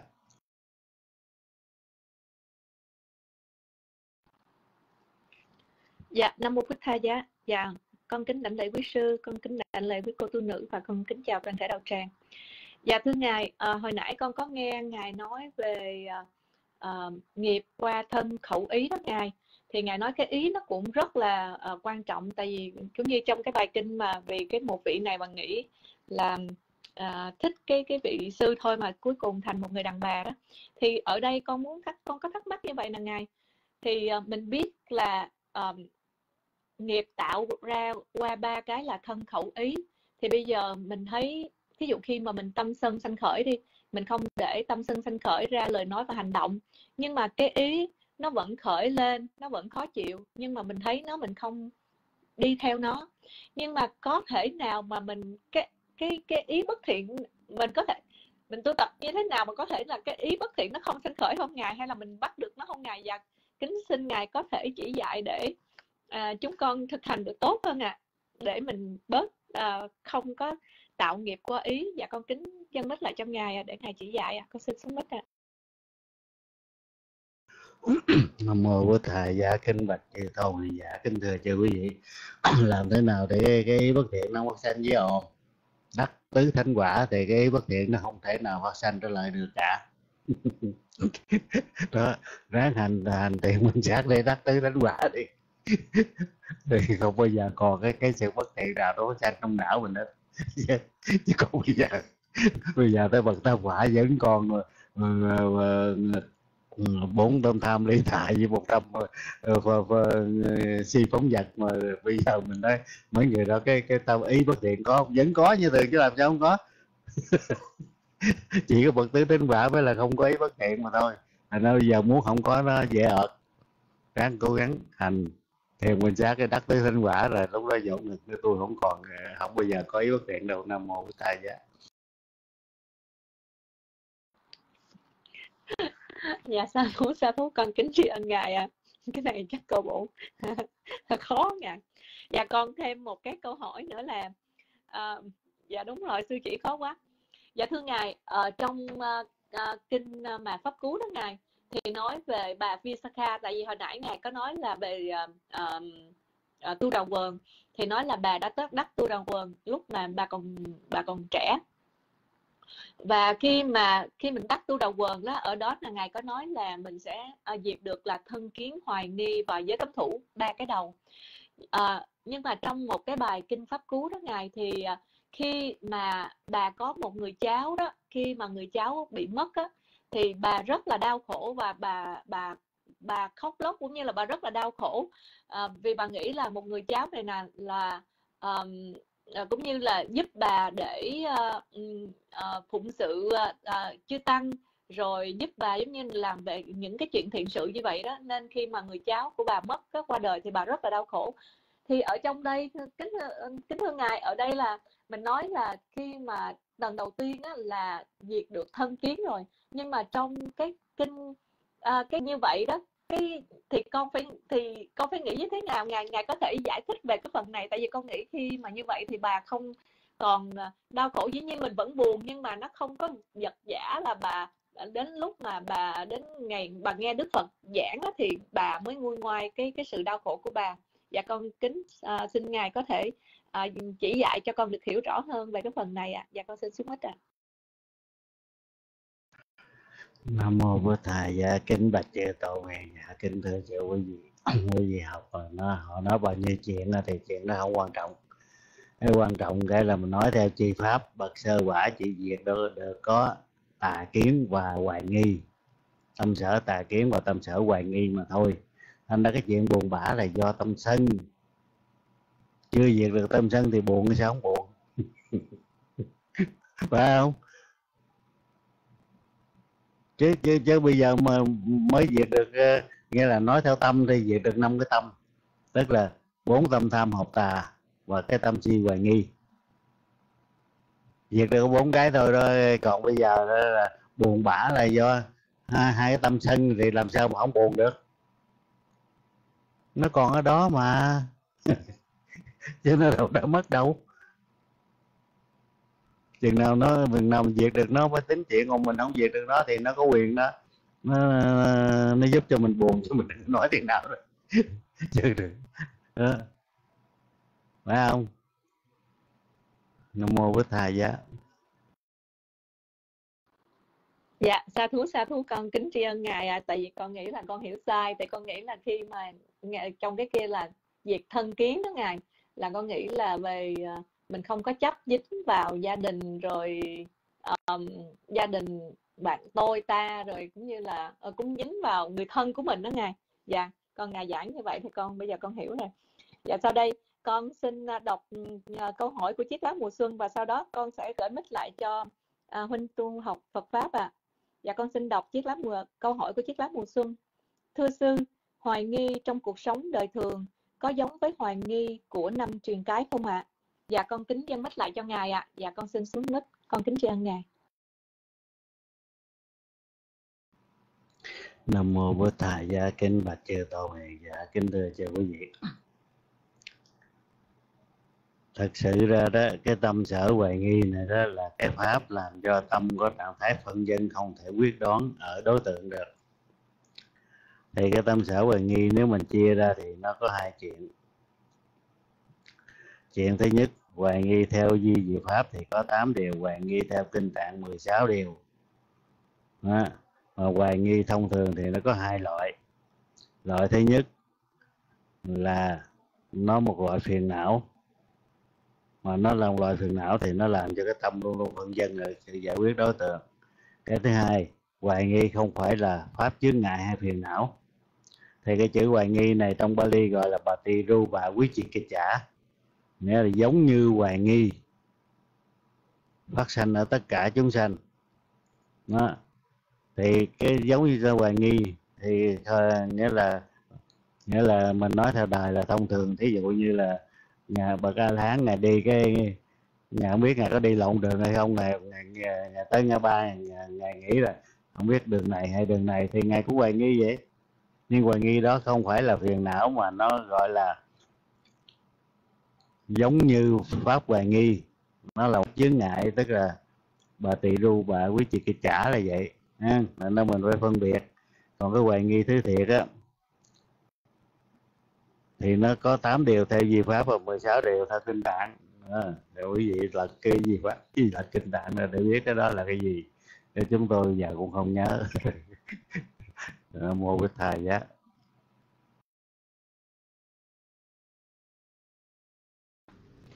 Nam mô Bụt Thầy dạ. Dạ con xin ờ, đọc tiếp cái câu hỏi của Đức Thi Lâm ạ. À. là kính thưa ngài, một cái hành giả khi mà hành thiền đã trải qua cái kinh nghiệm gọi là cái tuệ giác phân biệt thân tâm, nhân quả hoặc là sinh diệt thì họ có giữ được hay là sẽ bị mất sau một khoảng thời gian? Dạ con kính gửi mít cho sư dạy Nam mô Bổn Thầy gia kính bạch chư tôn hiền dạ kính thưa chư quý vị. Dầu cho tới cái tệ và sẵn khả rú bề khả nhà ná, tức là tệ xã hành đó. Tức là kế cái tệ mà đắc đạo đó. Mà vì một số lý do thì nó vẫn có thể bị hoại diệt như thường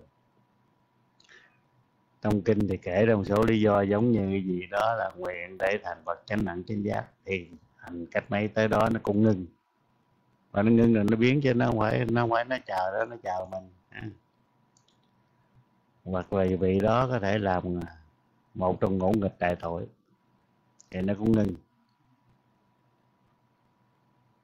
Đó. thành ra khi mà nó ngưng như vậy đó thì mình không thể tiếp tục thì nó phải biến mất chứ làm sao nó giữ được. Vậy mình là phạm nhân mà. Nghĩa là những cái tệ mà mình nó thật là siêu thế đó ví dụ như sơ đạo sơ quả trở lên đó, thì nó không có mất. Tại vì lý do đó mình ví dụ mình đắc sơ đạo lâu lâu có mình nhập ờ, uh, sơ thiền thiền quả đó thiền sơ quả được. Nhưng mà còn là hiệp thế thì nó mất mất bất cứ lúc nào mình thường thường mình gọi danh từ là ngoại thiền. Hoặc là mình chết, mình sanh về cái những cái cảnh khác. Mà nếu mà mình là lợi quá sanh mà mình sanh lên cái cảnh mà nó có điều kiện mình tiếp tục thì mình có thể mình mình recall nó được. Nghĩa là tiếp tục để cho nó có năng lực thêm. Còn nếu không thì nó vẫn mất như thường thì sao mất được. Mất hết á. Nghĩa hiệp thế là nó chỉ có thời gian của nó chứ nó không thể là giống như siêu thế được đó. Thành ra nên nhớ, thành ra mình khi mình ráng mình mình tập mà mình phải tập cho tới nơi tới chốn, chứ còn nếu mà không tới chơi chốn nữa ờ, mình vô đây từ tiền mình hành cái mình, ví dụ mình thấy từ tại danh sách đi, tệ thứ nhất, cái mình đã quá cái mình xin đi ra ngoài đi chơi, bảo đảm cũng mất chứ chơi đừng có nói. Tâm dễ vui lúc nào là tiền não nó nhào vô nó nó tính sổ mình nên nhớ luôn luôn là mình nên nhớ trong đầu mình tôi là phàm nhân tôi phải cố gắng tôi, chứ còn tôi đừng có nghĩ là ôi ngày là ngon rồi đó. Mình hơn rất nhiều người. Mình mới vô anh từng mình đã thấy danh sách rồi này kia chồng rồi cái lo dễ vui hả mất như thường nam mô bổn ta vậy nam mô bổn thầy. Dạ dạ con à, xin à, thay mặt rung kính tri ân về lời dạy của sư ạ dạ à, xin mời mọi người ạ. À. thì à, hồi nãy cái vấn đề về à, phi hữu ái với hữu ái đó thưa sư. À, phi hữu ái với hữu ái đó. Thì bây giờ con lấy một cái à, ví con lấy một cái ví dụ như vậy. Là ví dụ như con là một cái người chủ trương là có cái tà kiến loại là thường kiến. Là thường kiến tức nghĩa là tin vào trong một cái linh hồn trường tồn bất biến từ đời này qua cái kiếp khác ví dụ như vậy. Và khi mà con sân à con có cái tâm sân tức là con không thích cái chuyện đó con muốn cái đó nó phải mất đi thì như vậy cái tâm sân đó đó thưa sư là nó thuộc về là hữu ái hay nó thuộc về là phi hữu ái. Nếu mà tâm tham á mà đi với thường kiến thì tất nhiên nó là hữu ái rồi. Nhưng mà bây giờ con là người có cái tà kiến là thường nhưng mà con khởi tâm sân thì cái tâm sân đó, đó là nó được liệt vào là hữu ái hay là phi hữu ái. Dạ còn kính gửi bích cho sư dạy nam mô bổn thầy gia kính bạch chư tôn về dạ kính thưa chư quý vị. Quý vị quý vị mà có thường kiến hay tà kiến là khi nào tâm tham nó phát sanh thì nó mới làm việc. Còn cái tâm sân nó phát sanh là nó tâm sân là cái loại tâm quỷ hoại đối tượng thì làm sao mà mấy cái tà kiến nó nhào vô nó làm việc được? Mà nó nhào vô nó phụ không được thì làm sao có có danh từ là, là, là hữu sân với thường sân được. Phải không? Bây giờ cứ nghĩ vậy đi. Cái thằng tà kiến nó chỉ đi với tám tâm tham thôi. Anh nói khi nào tâm tham rồi, ăn thua là mình thuộc loại nào khỏi được kia tà, tà kiến rồi đoạn kiến rồi thì thì lúc đó là nó nó lên nó, nó mới đi theo mấy thằng đó thôi chứ. Ví dụ như bây giờ huynh á huynh có hai, hai hai người bạn một người bạn ờ, là thích nhậu. Người bạn thứ hai là không. Phải đi vô ờ, thư viện để tìm sách Phật ờ, pháp của ông bạn kia đọc. Thì khi nào huynh đi với cái ông đó thì phải huynh phải phải chiều người ta theo ta vô tìm sách Phật pháp đọc chứ. Còn theo cái ông kia thì phải vô quán nhậu chứ. Chứ là sao? Chứ không lẽ không lẽ theo ông kia vô quán mà kêu kêu chai rượu ra kêu chai bia ra tính nhậu cái là uh, lật sách uh, Phật pháp mà đọc à? Nó chuyện nó không thể xảy ra được. Ra mình sân là nó làm theo việc của nó chứ. Dầu rằng dầu rằng cái cái cái bản chất của mình là người có tà kiến thì nó thì khi tâm sân nó lên là nó hủy hoại đối tượng là, chứ không có cái ấy, chứ không có cái vụ mà nó giúp cho cái cái anh à, tà kiến đó được. Nam mô bích thai dạ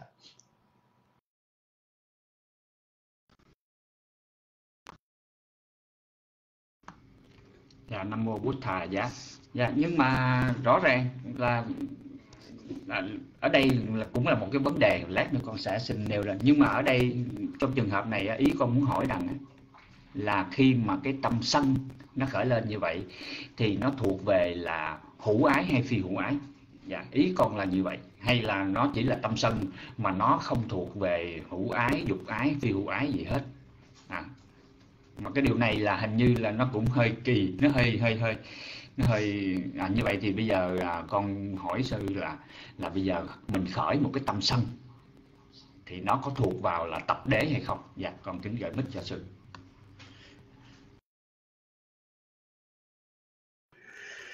Nam mô bổn thầy gia kính bạch chư tôn hàng dạ kính thưa chư quý vị. Thật sự tập đế cái nhân chánh nó là tham nhưng mà tham trong tất cả các loại tâm khác chứ không phải không thành ra khi mà cái cái sân nó phát sanh đó nó là bạn đồng hành với cái cái cái anh cái anh tập đế nhưng mà chính nó không gọi là tập đế. Ha thí dụ như bây giờ đó anh vô trong một cái, uh, cái sư đoàn lính đi sư đoàn lính. Ông tướng đó ông là là sư đoàn trưởng anh là bạn của ông tướng đó anh đi với ổng. Thì anh vẫn là bạn của ông chứ anh là sư đoàn trưởng đâu được. Mỗi người nó có cái địa vị, có cái nhiệm vụ của họ. Thì những cái tâm vậy khi nó phát sinh nó có điều kiện, có nhiệm vụ của nó. Nó có nhân gần, nhân xa, này kia thường nó có bao nhiêu chuyện. Mình cái này mình dựa vào cái kia để mình hỏi nó phải giống này, giống kia không được. Không có thể giống được. Bởi vì nó là thực tính pháp, nó lên nó phát sinh nó làm theo điều kiện của nó thôi. Còn những người kia là những người đi chung với nó là thành bạn đồng hành được chứ không phải là nó. Nó nhớ chuyện đó. Nên nó không có cái chuyện mà cái sân lên cũng đoạn hai tà đâu được. Bởi vì đoạn tà nó chỉ cho cái cái anh tà kiếm mà đi chung với tham thì tham, nhưng mà anh tà kiếm không có đi chung với thằng sân được. Đó. Nó không có đi chung được. Dầu rằng khi mà cái cái anh anh tham đi lên hỏi trong cái cái cái cái người anh có sân hay không có sân nhưng sân nó nằm im đó chứ nó đâu có trồi lên chi. Bởi vì cái điều kiện là cái đối tượng của thằng tham nó khác, đối tượng của ông sân nó khác chứ. Ông lẽ ông ông tham đối tượng vậy rồi ông sân nhào vô để giành à.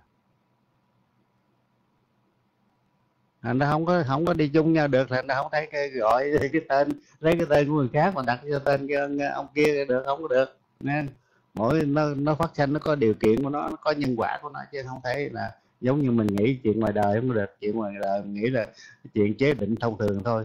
Còn cái chuyện này là nhân duyên của thực tính pháp nó có đàng hoàng. Nó, nó là cái thứ thiệt chứ nó không phải thứ giống như mình nghĩ đâu. Nam mô bích tha dạ. Dạ, nam mô bút thà dạ. Dạ thì rồi vô cái vấn đề này là cũng con thấy cũng rất là vi tế là thật sự. Dạ. Là là tại vì á mình giải thích theo vi diệu pháp. Mình nhìn cái ờ, dục ái, hữu ái, phi hữu ái, mình giải thích theo cái nghĩa ở trên vi diệu pháp. Thì con muốn đặt ra một cái câu hỏi nghịch là như vậy, thưa sư, là có liệu chăng là khi mà chúng ta, gọi là, dùng cái vi diệu pháp để chúng ta giải nghĩa kinh đó, thưa sư? Tất nhiên thì nó mang tới một cái lợi ích đó là chúng ta sẽ hiểu rõ hơn. Nhưng mà liệu chăng nó có một cái mặt trái là cái gì? Là mình ức chế cái ngữ nghĩa của tạng kinh hay không thưa sư?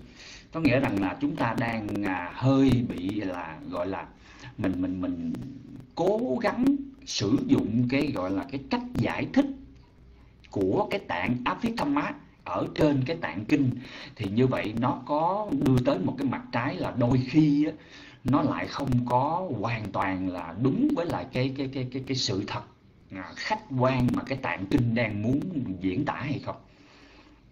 Là tại vì là nếu như á, mà một cái bất bất kỳ một cái vấn đề nào ở trong cái tạng kinh chúng ta đều ép buộc mình phải hiểu cái vấn đề đó theo cái cách hiểu của cái tạng áp phích thâm mát thì liệu như vậy là có quá là là là là um, bị dẫn tới một cái mặt trái nào hay không? Đó là vấn đề. Đó còn lấy ví dụ như là là là tạng kinh thì nói là tập đế là dục ái hữu ái và phi hữu ái.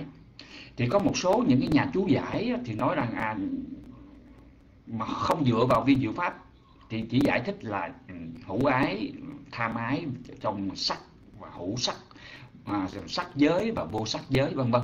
Nhưng mà khi mà mình mình mình mình giải nghĩa mình giải nghĩa theo vi diệu pháp á, thì lúc đó mình đưa chi pháp vào. Mà khi mình đưa chi pháp vào lúc đó mình lại loại cái sân nó ra khỏi cái tập đế. Mà trong khi đó tham sân si rõ ràng là tập đế. Thì ý con muốn đặt ra một cái vấn đề ngược lại là đôi khi có cái cái cái cái cái cái, cái chỗ nào mà khi mà chúng ta cố gắng à, giải thích kinh theo cái suy nghĩ của vi diệu pháp đó, nó dẫn tới một cái mặt trái nào hay không? Dạ con kính gửi mít để cho sư làm rõ hơn về cái vấn đề này ạ. Nam mô Bổn Thầy dạ kinh bạch chư tôn dạ kính thưa chư quý vị. Nếu chúng ta học hiểu đàng hoàng thì không thể có chuyện đó xảy ra. Chúng tôi nãy có nói đấy có lẽ là quên quên cái câu nói chúng tôi là, là mình học phải học thắng pháp tập lý luận rồi học nét tị bạc karana tức là cái cái nét tị bạc karana đó là cái chúng tôi mới tiếng việc là cái cái cái cái, cái, phẩm đó đó để giải thích cái cách mà mình nhìn một cái danh từ Bali để mình bắt được cái chi pháp của nó bắt được thực tinh pháp của nó. Tại vì mình nhìn danh từ Bali mình bắt được thực tinh pháp không được thành ra mình mới giải thích tập bảy. Chứ hồi vào thời Đức Phật đó không có chỗ nào người nó lại đây ta giảng tặng kinh cho nghe hoặc là ta giảng gì pháp cho nghe không có. Ngài chỉ nói một câu thôi rồi người đó phải hiểu từ cái câu đó qua thông qua cái chi thực pháp tức là thực tính pháp. Bởi vì thấy được thực tính pháp thì mới thấy được danh sắc mới thấy được sanh diệt mới mới mới đi, đi tới nơi tới chốn được. Còn mình không có thấy được danh pháp mình chỉ nhìn vào cái định thì làm sao mình có thể mình đi được tới nơi tới chốn được. Nhưng mà sau này tại vì lý do là cái người đời đó, nếu nếu đọc ờ, một cái bài mà nó nó, nó, nó có chỗ thì nó nó, nó nó bình thường còn có chỗ nó vi tế này kia không hiểu người ta mới chia ra. Nó nhớ chia ra sau lần cái tập tâm tạng là, là lần thứ ba mới có sự chia vậy. Chứ thời đức phật là chỉ có pháp và luật mà thôi. Đó. Thành ra bây giờ mình học không tới nơi rồi mình cứ mình nghĩ là mình làm gì được mình nó mới tật lất ví dụ giờ mình nói mình mình không học toán mà người ta đưa toán cho mình làm thì mình làm đúng không? Thì cái này cũng vậy. Mình học không có tới nơi mình học không có đủ. Thường thường là vô là mình lật ra mình thấy bài kinh nào dễ rồi mình đọc rồi mình thấy nghe người ta nói ở bài kinh nó đọc mà hiểu cái có thể hành được đắc này đắc nọ. Cái mình cứ nhào vậy đó. Xin thưa với quý vị đó nếu quý vị biết cách học kinh đó cái bài cái những cái cái cái cái cái cái, cái tập mà kinh đầu tiên đó quý vị nên học đó là tiểu tụng. À, của tất cả ba thạ hỏi tiểu tụng thì dạy cái gì? Thứ nhất, tam quy, thứ hai là tập giới, thứ ba là 32 phần của cơ thể, thứ tư là nam tử hỏi đạo, thứ năm kinh điềm lành, thứ sáu kinh châu báo cái thứ um, bảy kinh ngoài bức tường, thứ tám kinh bảo tàng thứ mười kinh lòng từ. Quý vị thấy không? Và những cái liên quan tới đời sống hàng ngày mình không chịu học.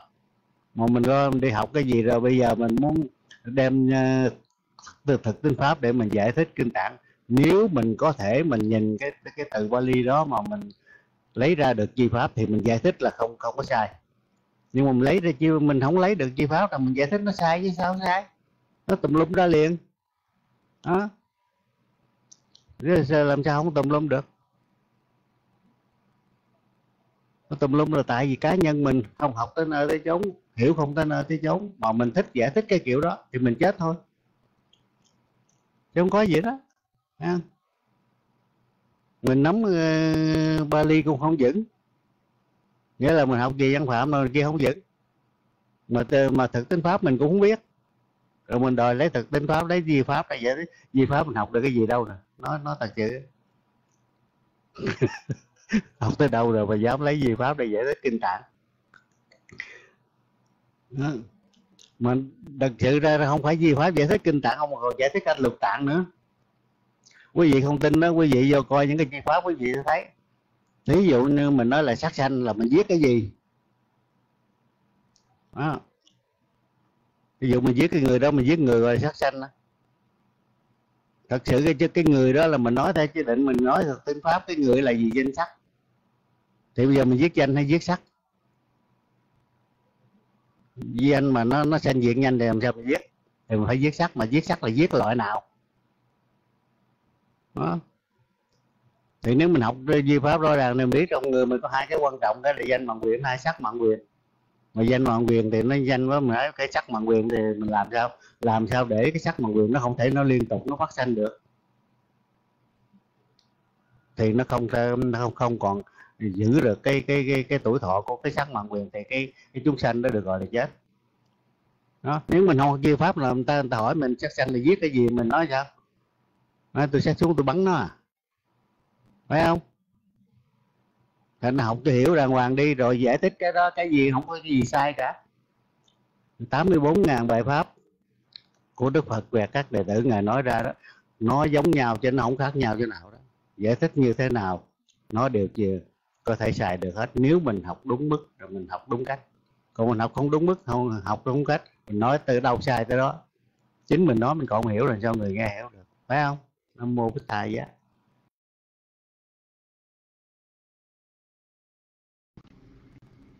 Nam mô bụt thà dạ dạ con kính uh, tri ân về cái lời dạy vừa rồi của sư ạ.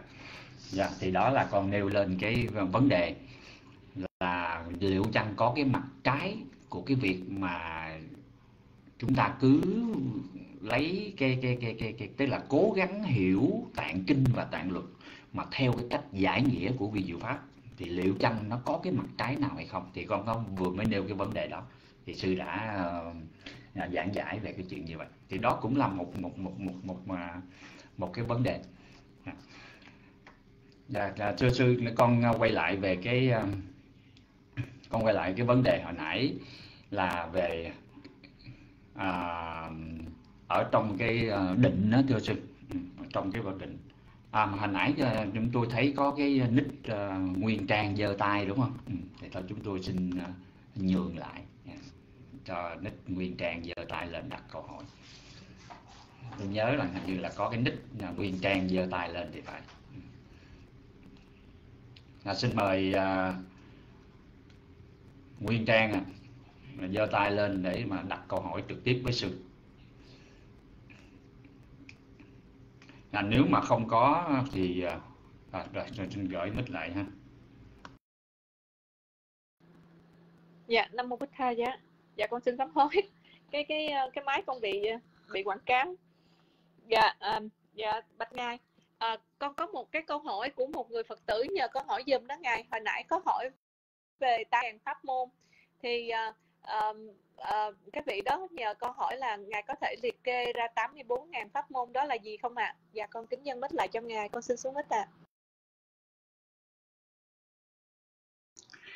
Nam mô Bổn Thầy dạ kính bạch chư tôn hiền dạ kính thưa cho quý vị thì nãy nói cho tóm tắt giờ là liệt kê rồi đó tận lực tận kinh và tận di pháp tạng di pháp thì có bảy bộ thập mới sẵn cho nên quý phân khá rồi thì lật ra thôi chứ lật ra thì đọc thiếu gì đó đó, đó. còn nếu mà nếu mà mình không có ờ, không có chịu lật ra mà đọc thì ờ, làm sao mình đoán được đó.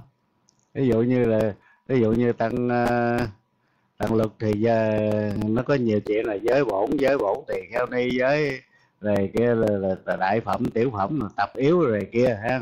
Đó, đó là luật còn kinh thì gồm ở trường bộ thì có 52 bài trung bộ thì có trăm năm mấy bài tăng chi bộ rồi tương ương bộ này kia đó, đó. còn à, thắng pháp thì có bộ pháp tụ bộ phân tích tức là uh, rồi bộ chất ngữ bộ bộ nhân chế định bộ ngữ tông bộ song đối bộ vị trí. Đó. Thì ờ, vô đó là đếm thì nó có đúng tám bốn ngàn bốn môn không? Đó.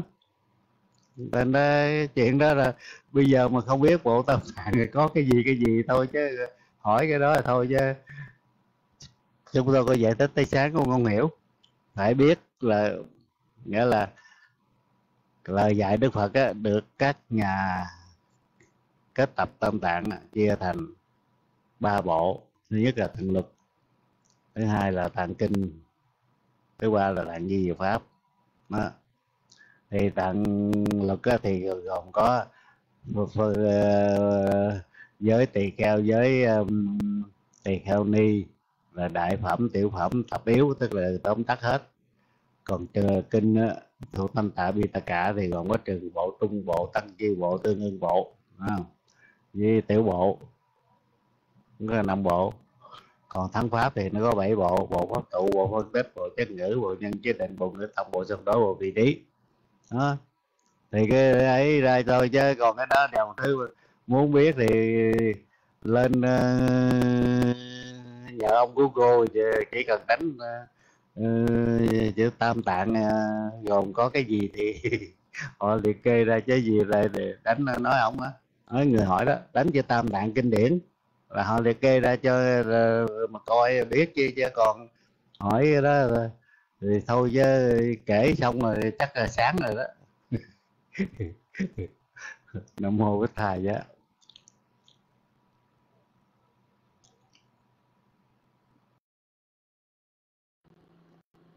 Dạ, sa thú sa thú con kính tri ân ngài ạ. À. Dạ, ngài cho con ờ, hỏi một cái câu hỏi này.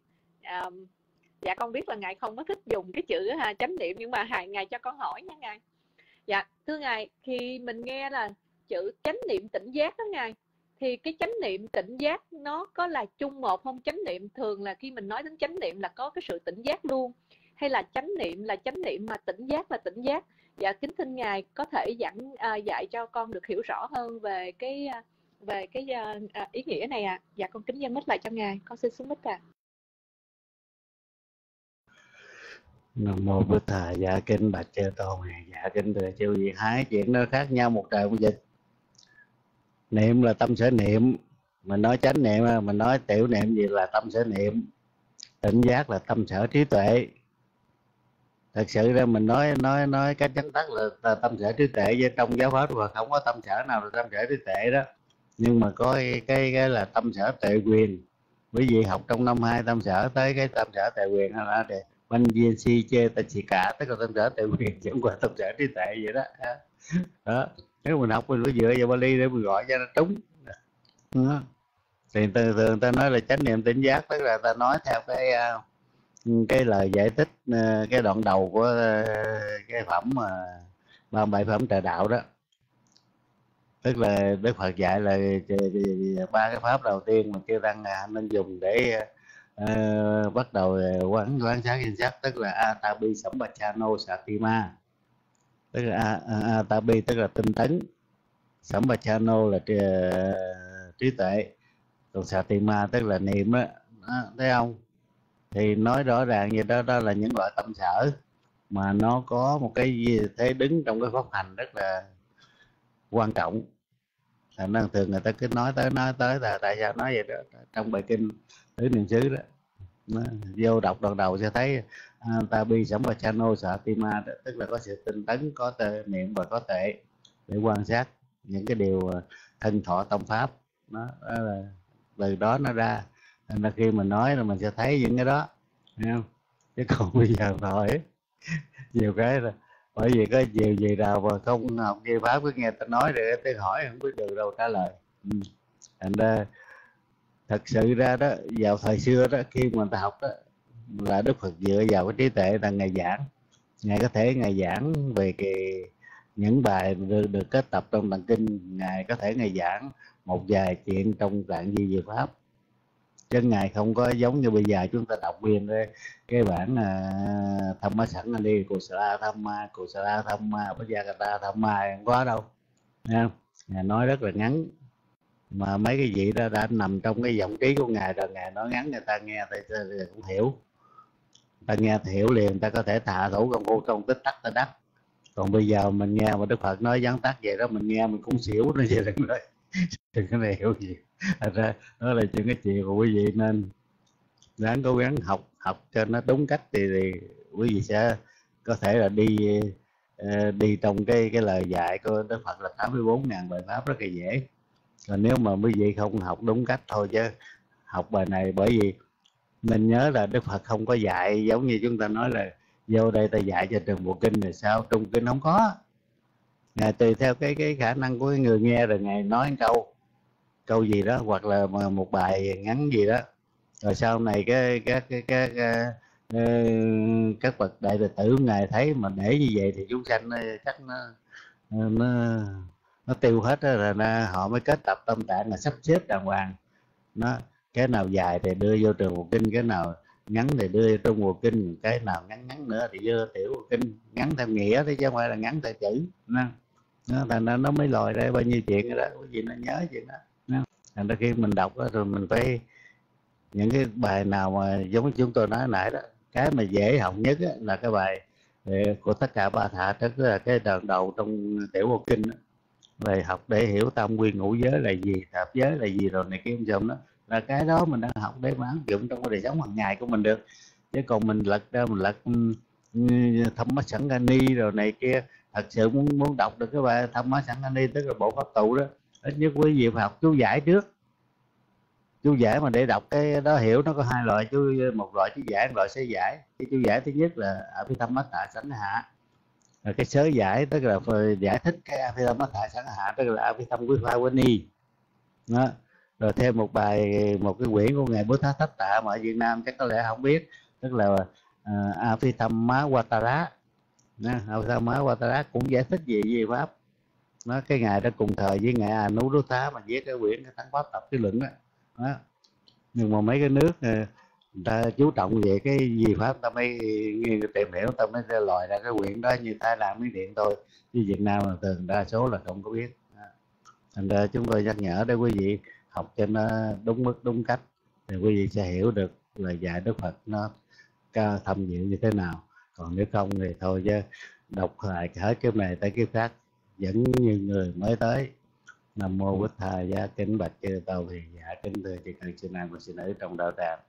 Tất cả phước báo nào phát sinh do phật thoại trong ngày hôm nay xin hãy là mối duyên lành để tất cả chư tàu hiền giả cùng thời sư nam và nữ trong đạo tràng có cơ hội để chấm dứt cả pháp ngủ ngầm nơi tâm.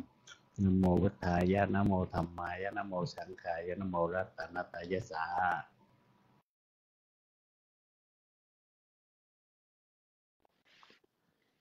sa thú, sa thú, sa thú. Dạ, con xin thay mặt đạo tràng kính tri ân Ngài Liệu Tông đã từ bi hoan hỷ đến với đạo tràng và giảng dạy những thắc mắc của chúng con về Phật pháp uh, trong buổi ngày buổi ngày hôm nay. Dạ cũng con uh, kính tri ân Ngài à, kính chúc Ngài thân tâm luôn an lạc. Và sau đây con kính mời đạo tràng uh, cùng con hồi hướng sau khi thính pháp ạ. À.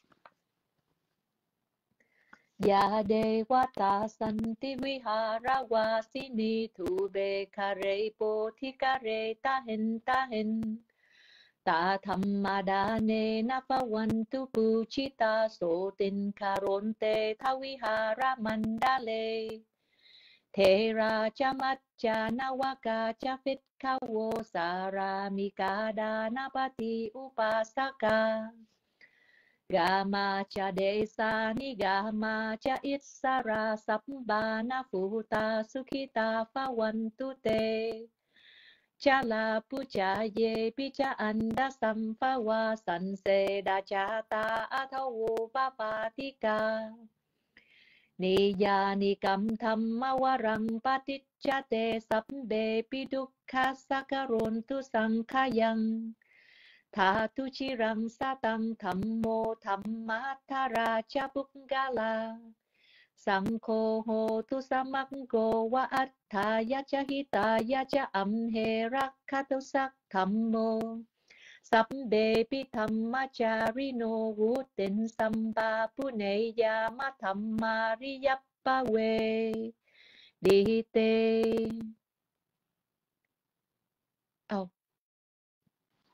Dạ con dạ con xin uh, sám hối à con quên đọc bài sám hối. Dạ con xin sám hối ờ, trước à con xin lỗi. Uttamange na wande hang ba da bang sung waruttamang Putheyo kalito doso puttho kamatutang mamang Uttamange na wande hang Thammang chaduwi tham warang tham he yo kalito do so tham mô kamatu tăng ma măng. Mang ge na wan de hang sangkhan tam thot sang khe yo kalito do so sangkho kamatu tăng ma măng. Và sau đây con kính thỉnh ngài à, trí đức có thể chúc phúc cho đạo tràng của chúng con sau khi thính pháp ạ. À. và con kính nhân mắt lại cho ngài ạ. à.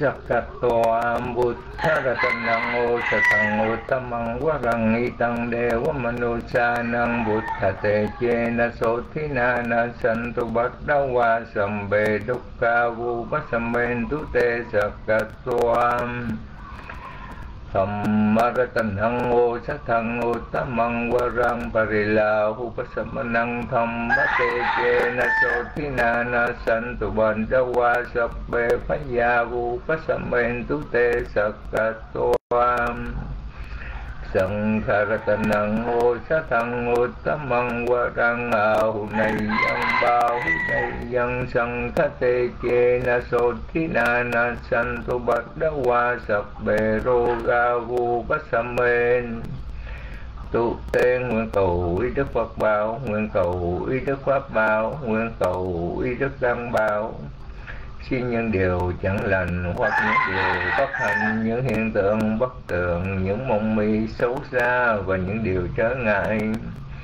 những khổ đau, sợ hãi, những phiền muộn, ưu sầu, hãy được mau tiêu diệt.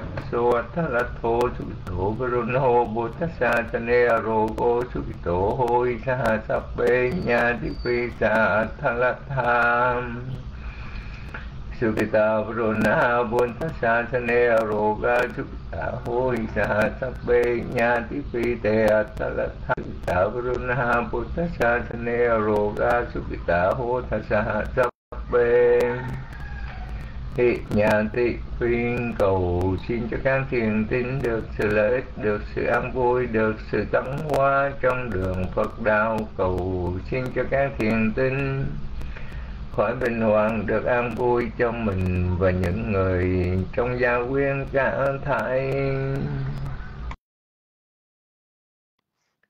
Sa thu sa thu lành thai. Ya de wa ta san ti vi ha ra wa si ni tu be ka re puthi ti ka re Ta hen ta hen thammadane na phavantu puchita so tinh karonte tha vihara Thế ra cha mat cha na waka cha fit khawo saramika dana pati upasaka Gama cha desa ni gama cha itsara sabbe sabba na futa sukhita tu te cha la pu cha ye pi cha an da sam pa wa san se da cha ta, a tho u pa pa ti ka ni ya ni kam tham ma wa rang ti cha te sabbe pi ka run tu sang kha yang tha tu chi rang sa tang tham mo tham ma tha ra cha buk ka la. Sankho ho tu samakgo wa atta ya cha hita ya cha amhe rakkatu sak thammo Sabbe pi dhammacharino vutin sampa puneya ma thammariyappave Ti tê Do sự phước báo mà chúng con đã trong sạch làm đây Xin hồi hướng đến thân bằng quyến thuộc đã quá vạn, cầu mong cho các vị ấy hằng được sự yên vui. Do sự phước báo mà chúng con đã trong sạch làm đây, xin chia đều đến thân bằng quyến thuộc còn hiện tiền, còn cầu mong cho các vị ấy hằng được sự yên vui. Do sự phước báo mà chúng con đã trong sạch làm đây, hãy là món duyên lành để dứt khỏi những điều ô nhiễm, ô nhiễm ngủ ngầm nơi tâm. Nguyện cầu tam bảo từ hằng độ, nguyện thoát ba tay nước lửa binh, Nguyện thảy chúng sanh khỏi oan kết, nguyện cho nhân loại ráng tu hành, nguyện dình tam học giới định tuệ, nguyện đoạn tham sân si độc sanh, nguyện dạy canh nhân sanh tự khổ, nguyện diệt tâm tham háo lợi danh, nguyện tu tinh tấn không dại đại, nguyện sao đạo quả sớm viên thành.